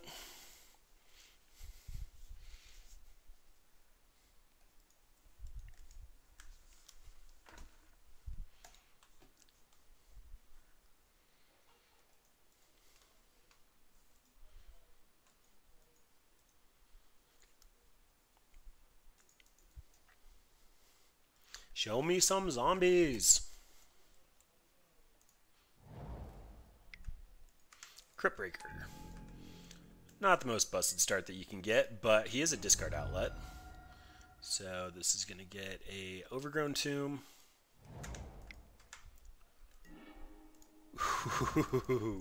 Alright, I want to draw a land.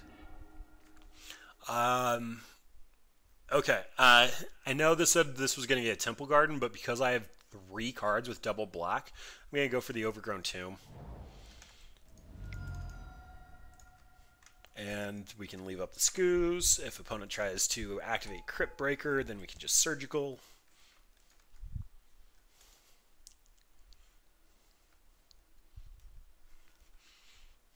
Top decking a land means Last Hope comes down, just starts eating their entire board. I'd also love it if they just discarded Vengevine because it's a power play, but I'd love to see what's in their hand. See how many angles I have to try to defend from.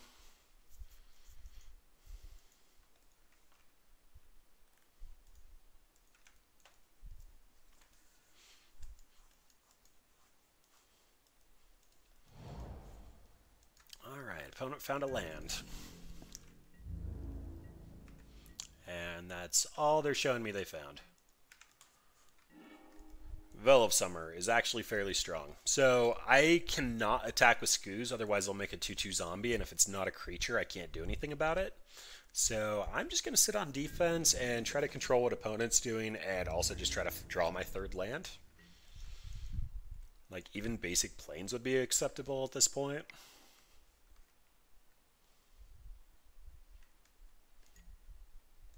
Fatal Push. That is an awesome chance for Veil of Summer. Draw a card if your opponent has cast a blue or black spell this turn. Spells you control can't be countered. You and permanents you control gain hexproof. So now they don't get a zombie, I get a draw card, and my Scooze lives. Unless they have another Fatal Push. They do not. Land? Show me a land. Or honestly, Fatal Push. Both are acceptable. Okay. Hexproof from blue and black. This was a very powerful magic card. I understand that it's situational, but the power level is well beyond one mana.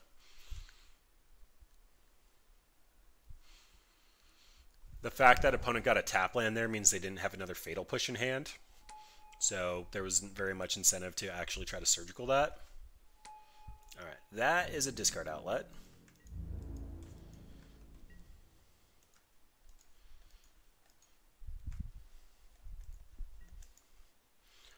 And I do want to keep opponent's graveyard under control for Gurmag Angler. They're not going to use an off-color fetch, so not surgically in that. Godless Shrine. Oh, I don't want to take the shock for that. So this reads discard a creature card, put a plus one plus one counter on it. Uh, Lily of the Last Hope can eat any of these, assuming they don't have a creature in hand. My considerations are Surgical the Fatal Push, check for a creature, and then eat Lotleth Troll. Or just Lily, eat the Cryptbreaker, expect Lily to die on the backswing to the Lotleth Troll. I don't really want to just surger- fire off a Surgical for no value here. I don't mind Lily of the Veil plussing, but I think Last Hope is my best clock. So if opponent discards a creature card, I can Surgical. Last Hope dies, I'm sad, but we're going to win because Scooze can eat them. Or if they're important, I can just Surgical them out of the deck. I have a white source here, so I'm just going to get my basic Forest, try to keep my life total high. Last Hope gets to come down.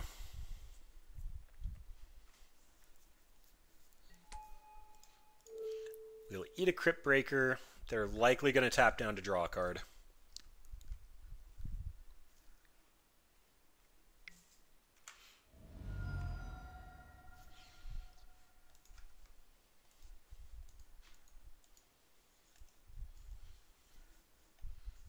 Yeah, the odds of them having one creature card out of three is just too high, and I don't like surgical for no information, especially when they get a draw card.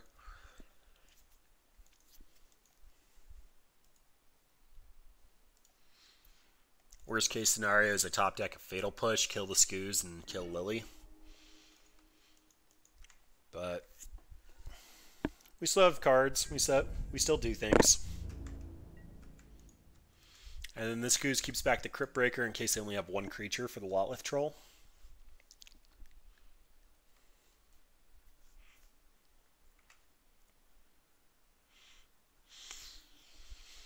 Man, I'd kill for a Plague Engineer. That card would do work. And I did not fire off the surgical at their draw step because I want to try to eat this with Scooze. The cards I'm intending to surgical are Gravecrawler, Vengevine, and potentially. I don't know. Undead Augur could be a consideration because it's so much fuel for their deck.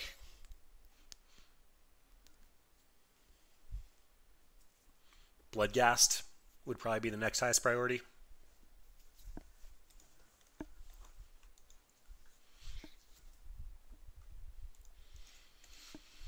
Opponent's trying to piece it together. We are a couple attacks away from Bloodghast being hasty.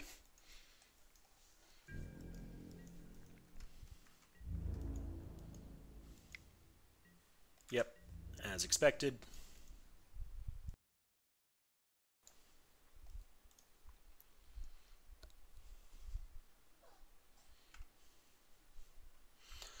There could have been some thought from opponent if they have the Vengevine to try to activate them, give them haste because it is 4 power and could also swing it Liliana. Like, discard two Vengevines would actually be able to do a lot of damage on this table if we weren't holding surgical extractions.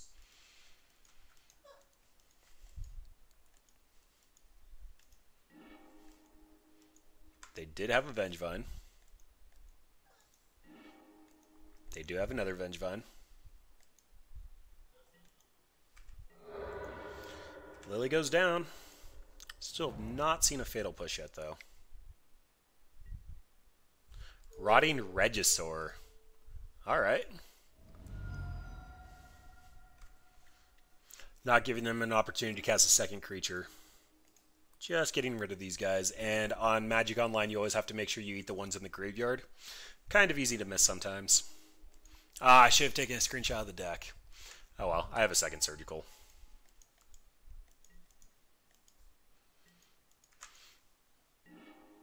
Blooming Marsh. That's sad.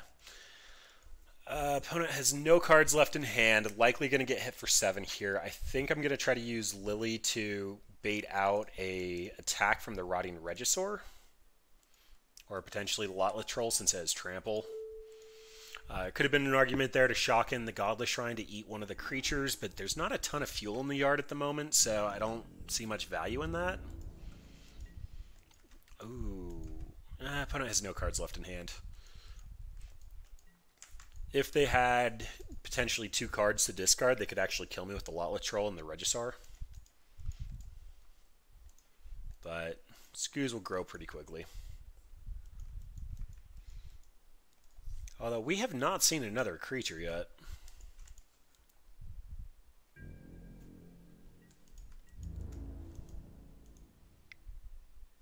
Yep, just going after me. So, highly doubt they have bump in the night. They can make this 12.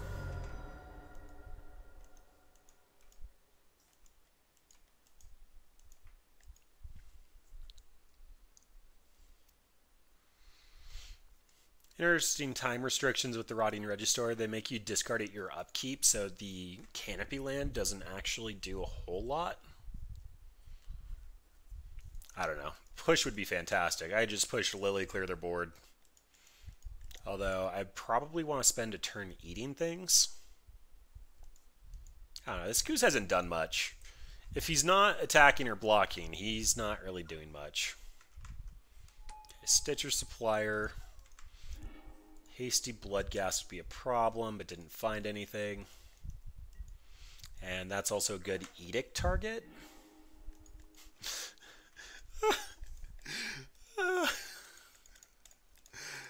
my my Siege Rhino is going to be a chump blocker this turn. That's so sad and depressing. I have to eat this so I can shock this into play so I can drain for three, and then that's putting me on chump blocking the Regisaur and killing the Lotleth Troll. Alternatively, I just eat three things and can't do anything about the Rotting Regisaur. Opponent has no cards in hand, but a Nurturing Peatland. So this enters, I drain. I block there.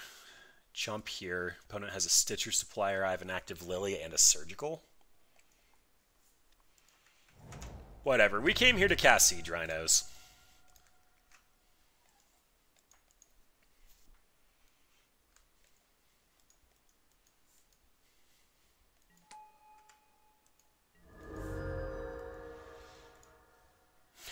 I actually don't think I want to plus this Lily. If I plus this Lily, I'm discarding the other one, which means my Edict is bad, but my Edict's already bad. I can discard the Surgical, but that puts me weak to Bloodghast. Opponent has no cards in hand and an active Regisaur. Yeah, Lily can just sit.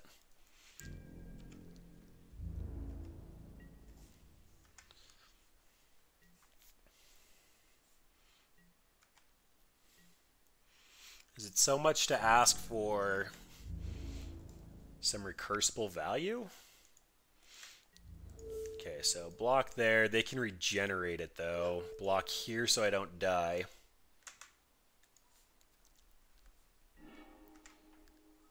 Yep, they top deck the Stitcher supplier.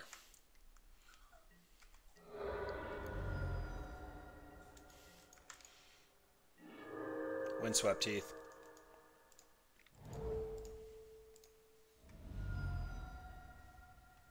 Uh, I'm pretty sure this is game three, so it's likely not going to matter, but let's go ahead and blow this up, take a look at the deck.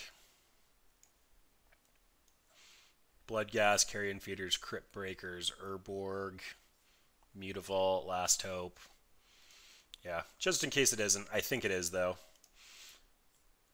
We take all those guys and then let ourselves out.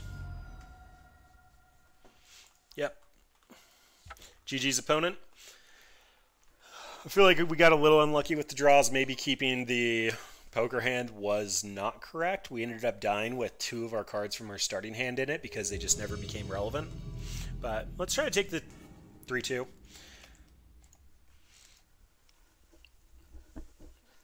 This is...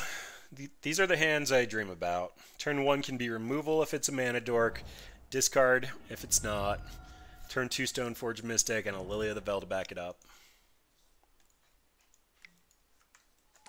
Alright, another Stitcher Supplier deck. Finding Dredge. Alright then, so I have to look for a Cathartic Reunion? Yeah, sure. Godless Shrine is fine. I don't care about the green mana yet. Okay, so apparently this is what all the Hogaak people have been switching to. So Carrion Feeder is the best recursible value. Don't want to put Vengevine in the yard for them.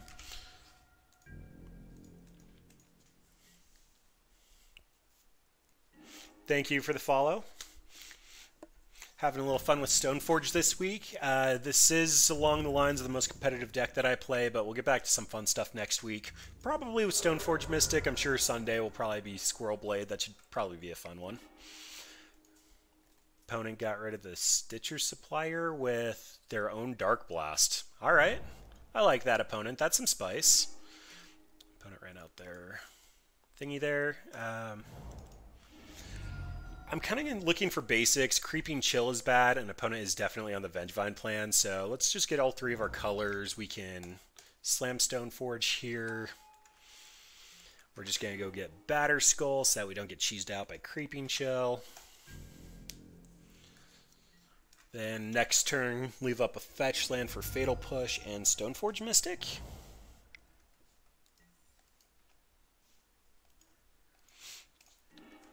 Uh, I love Legacy. I haven't played it much lately, but Legacy is the format where I feel like there's the most interaction.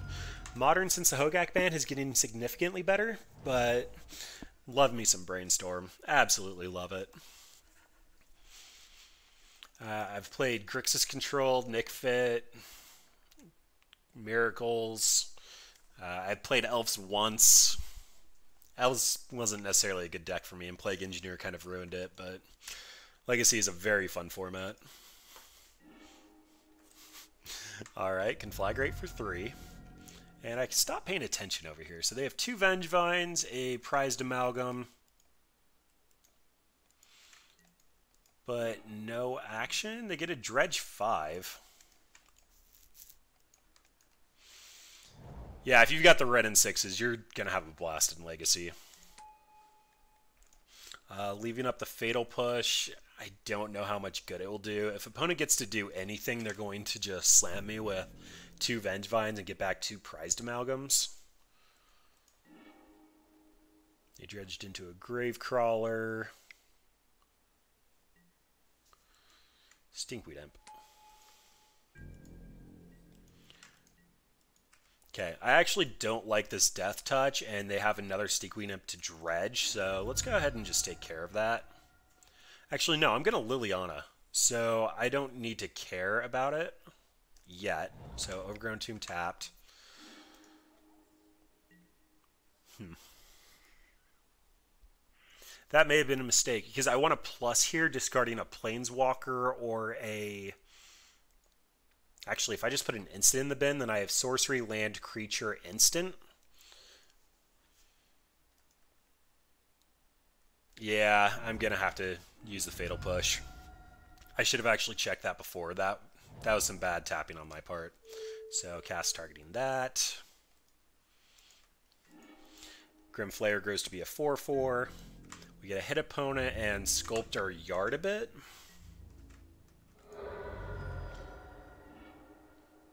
That's horrible. That is actually fine, but I want to draw the land. Next turn can be Batterskull and then and then Siege Rhino Grim Flayer. Or no, what I do here is I put the Verdant Catacombs on top, Siege Rhino on the tip top. Then I run out this Grim Flayer that's a 4-4. Next turn I get to cast the Siege Rhino to drain them for the last three. Oh, that's slightly weak to them just casting the Stinkweed Imp again, though. Maybe that was a mistake.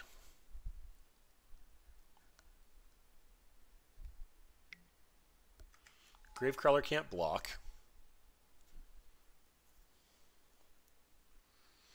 Opponent said misclick. Oh yeah, they would have had the Vengevines coming in.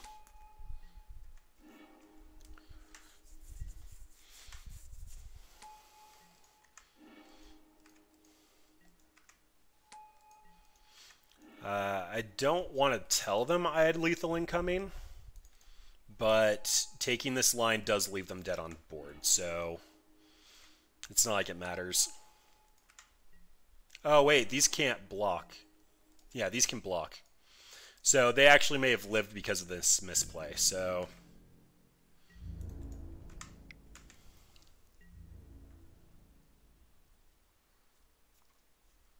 Yep.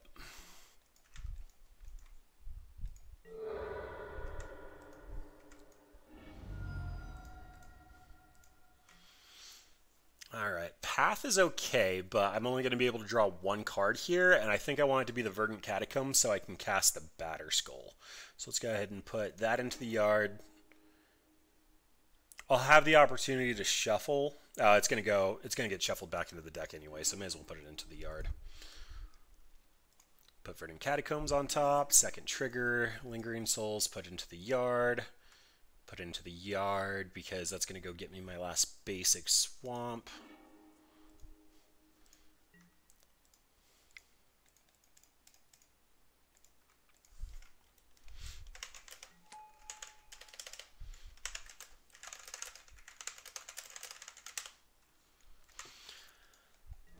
I just told opponent that would have been lethal if they didn't misclick, so they can't feel that bad about it.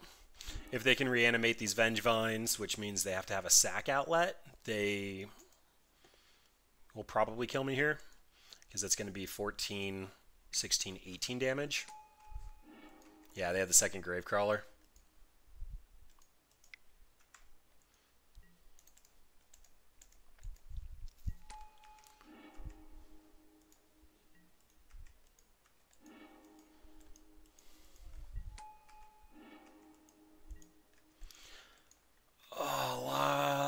Lot of creatures here. A lot of creatures.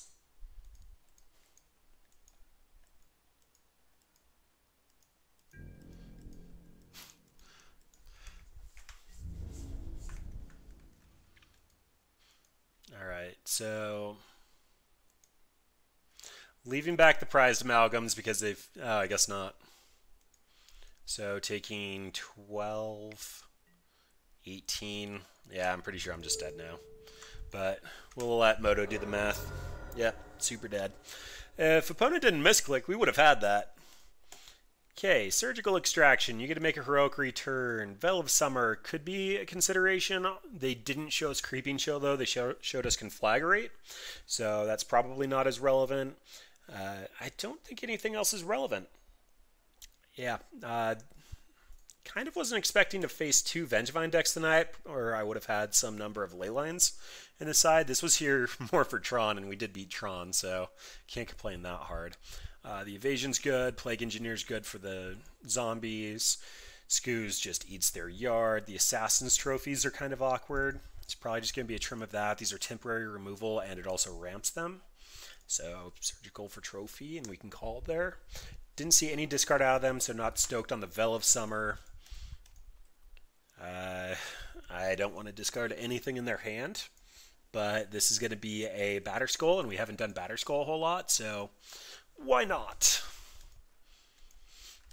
This is not a hand you keep if you want to win. This is a hand you keep if you want to have fun. I love having fun on my stream. I will always take the fun play over the competitive one. And because opponent's deck does explode pretty hard, I'm just going to get a basic here. We have a bit of fixing in our hand, so we also have a Thoughtseize. Cathartic Reunion, Carrion Feeder. So, Carrion Feeder so they don't have a turn 1 play. Next turn will be a Thoughtseize and a tap land.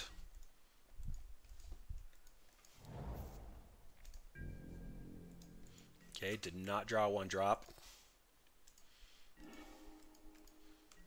Lily's pretty good, but uh, not going to let them Cathartic Reunion.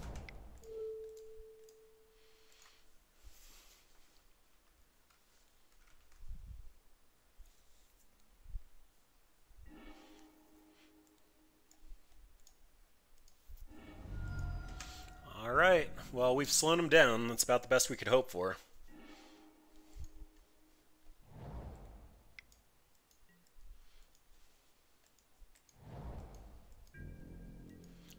the Stinkweed coming out. Actually, opponent has Assassin's Trophy. So they ran out the forest instead of a tapped overgrown tomb, and they're currently representing green black. So I am 100% expecting opponent to have Assassin's Trophy. Given that information, probably going to start on Stoneforge Mystic and hmm, Liliana Plus is just going to fuel what they're doing. I prefer Liliana get trophied. This is tough. So, Stoneforge Mystic, if I'm not expecting to cheese in Batterskull, probably has to get Sword of Fire and Ice. Then that means they just trophy Stoneforge Mystic and I'm ramped up to Cassian next turn. Yeah, that's actually fine. So, yeah, tap land. Let's just watch our life total. Stoneforge Mystic. Then this means Batterskull either way.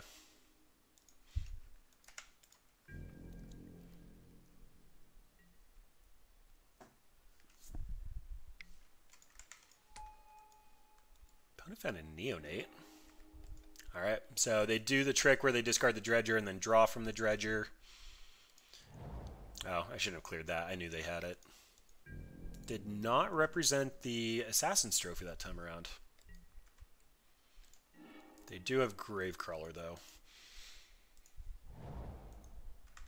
Alright. We're going to have a Batterskull, and they're going to have a Death Toucher.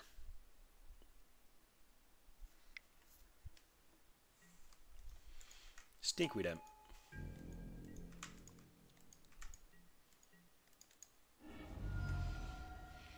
Okay, well, since this is their engine and they haven't found another dredger yet, we're pathing it.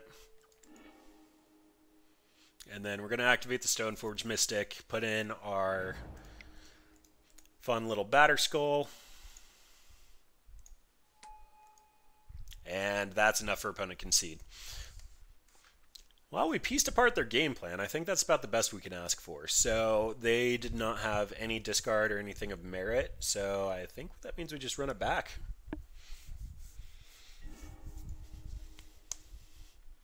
Let's see. This is Blooming Marsh Thoughtseize into Swamp Tarmogoyf, Field of Ruin Path, and then hopefully play a Siege Rhino. Uh, huh. I guess this takes a cathartic reunion. That's probably good enough reason. I could also see trying to mold for surgical, but only having two pieces of graveyard hate. I'm not stoked to throw away a hand with a very nice curve to try to find one piece of interaction. Insolent Neonate can start dredging.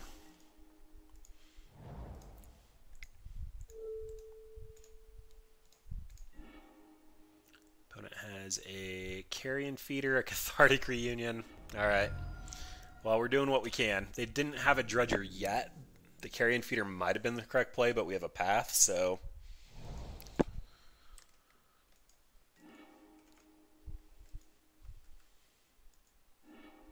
Opponent did find a stinkweed off their draw. Found two prized amalgams, a bloodghast to the gravecrawler. Oh boy, I don't think we're coming back from that. Goyf can at least block the prized amalgam for now. Likely going to have to path the bloodghast because it's the easiest creature to get back. Although they have a gravecrawler and a carrion feeder and a vengevine. Yeah. I'm glad that they banned Hogaak, but I was an advocate of banning Vengevine because that just doesn't seem fair. I mean, we're still in a format where you have 4, 8, 14 power on the table this turn, and I don't even have Path Mana up. So I get to run out the Goyf. I can block one of the prized amalgams. I'm taking 7, 8, 9, 10, 11. So I go down to 3, and that's assuming that they don't have a Conflagrate. Yep.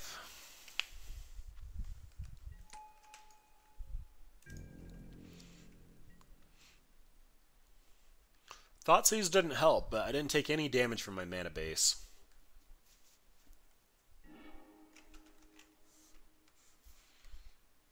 Okay, opponent didn't find anything of value there. They do get to recast the Gravecrawler, though. They also have another Neonate coming down. that actually saves about as much damage as it would have as a blocker. In fact, I think it saves one more. And then that means I get a Siege Rhino. Uh, they get to sack the Vengevine, though. Uh, not a huge fan of this. Carrion Feeder gives them options to do shenanigan anything. So, do I actually want to take the 13 here? If I take the 13, well, 12 because I'm going to path the Carrion Feeder. Then I Siege Rhino, I go up to 5. I can block a single creature and die. So I've got to hope that they can't bring back Vengevine next turn with a prized amalgam in hand. Oh, they just let it go. We might have another Vengevine in hand.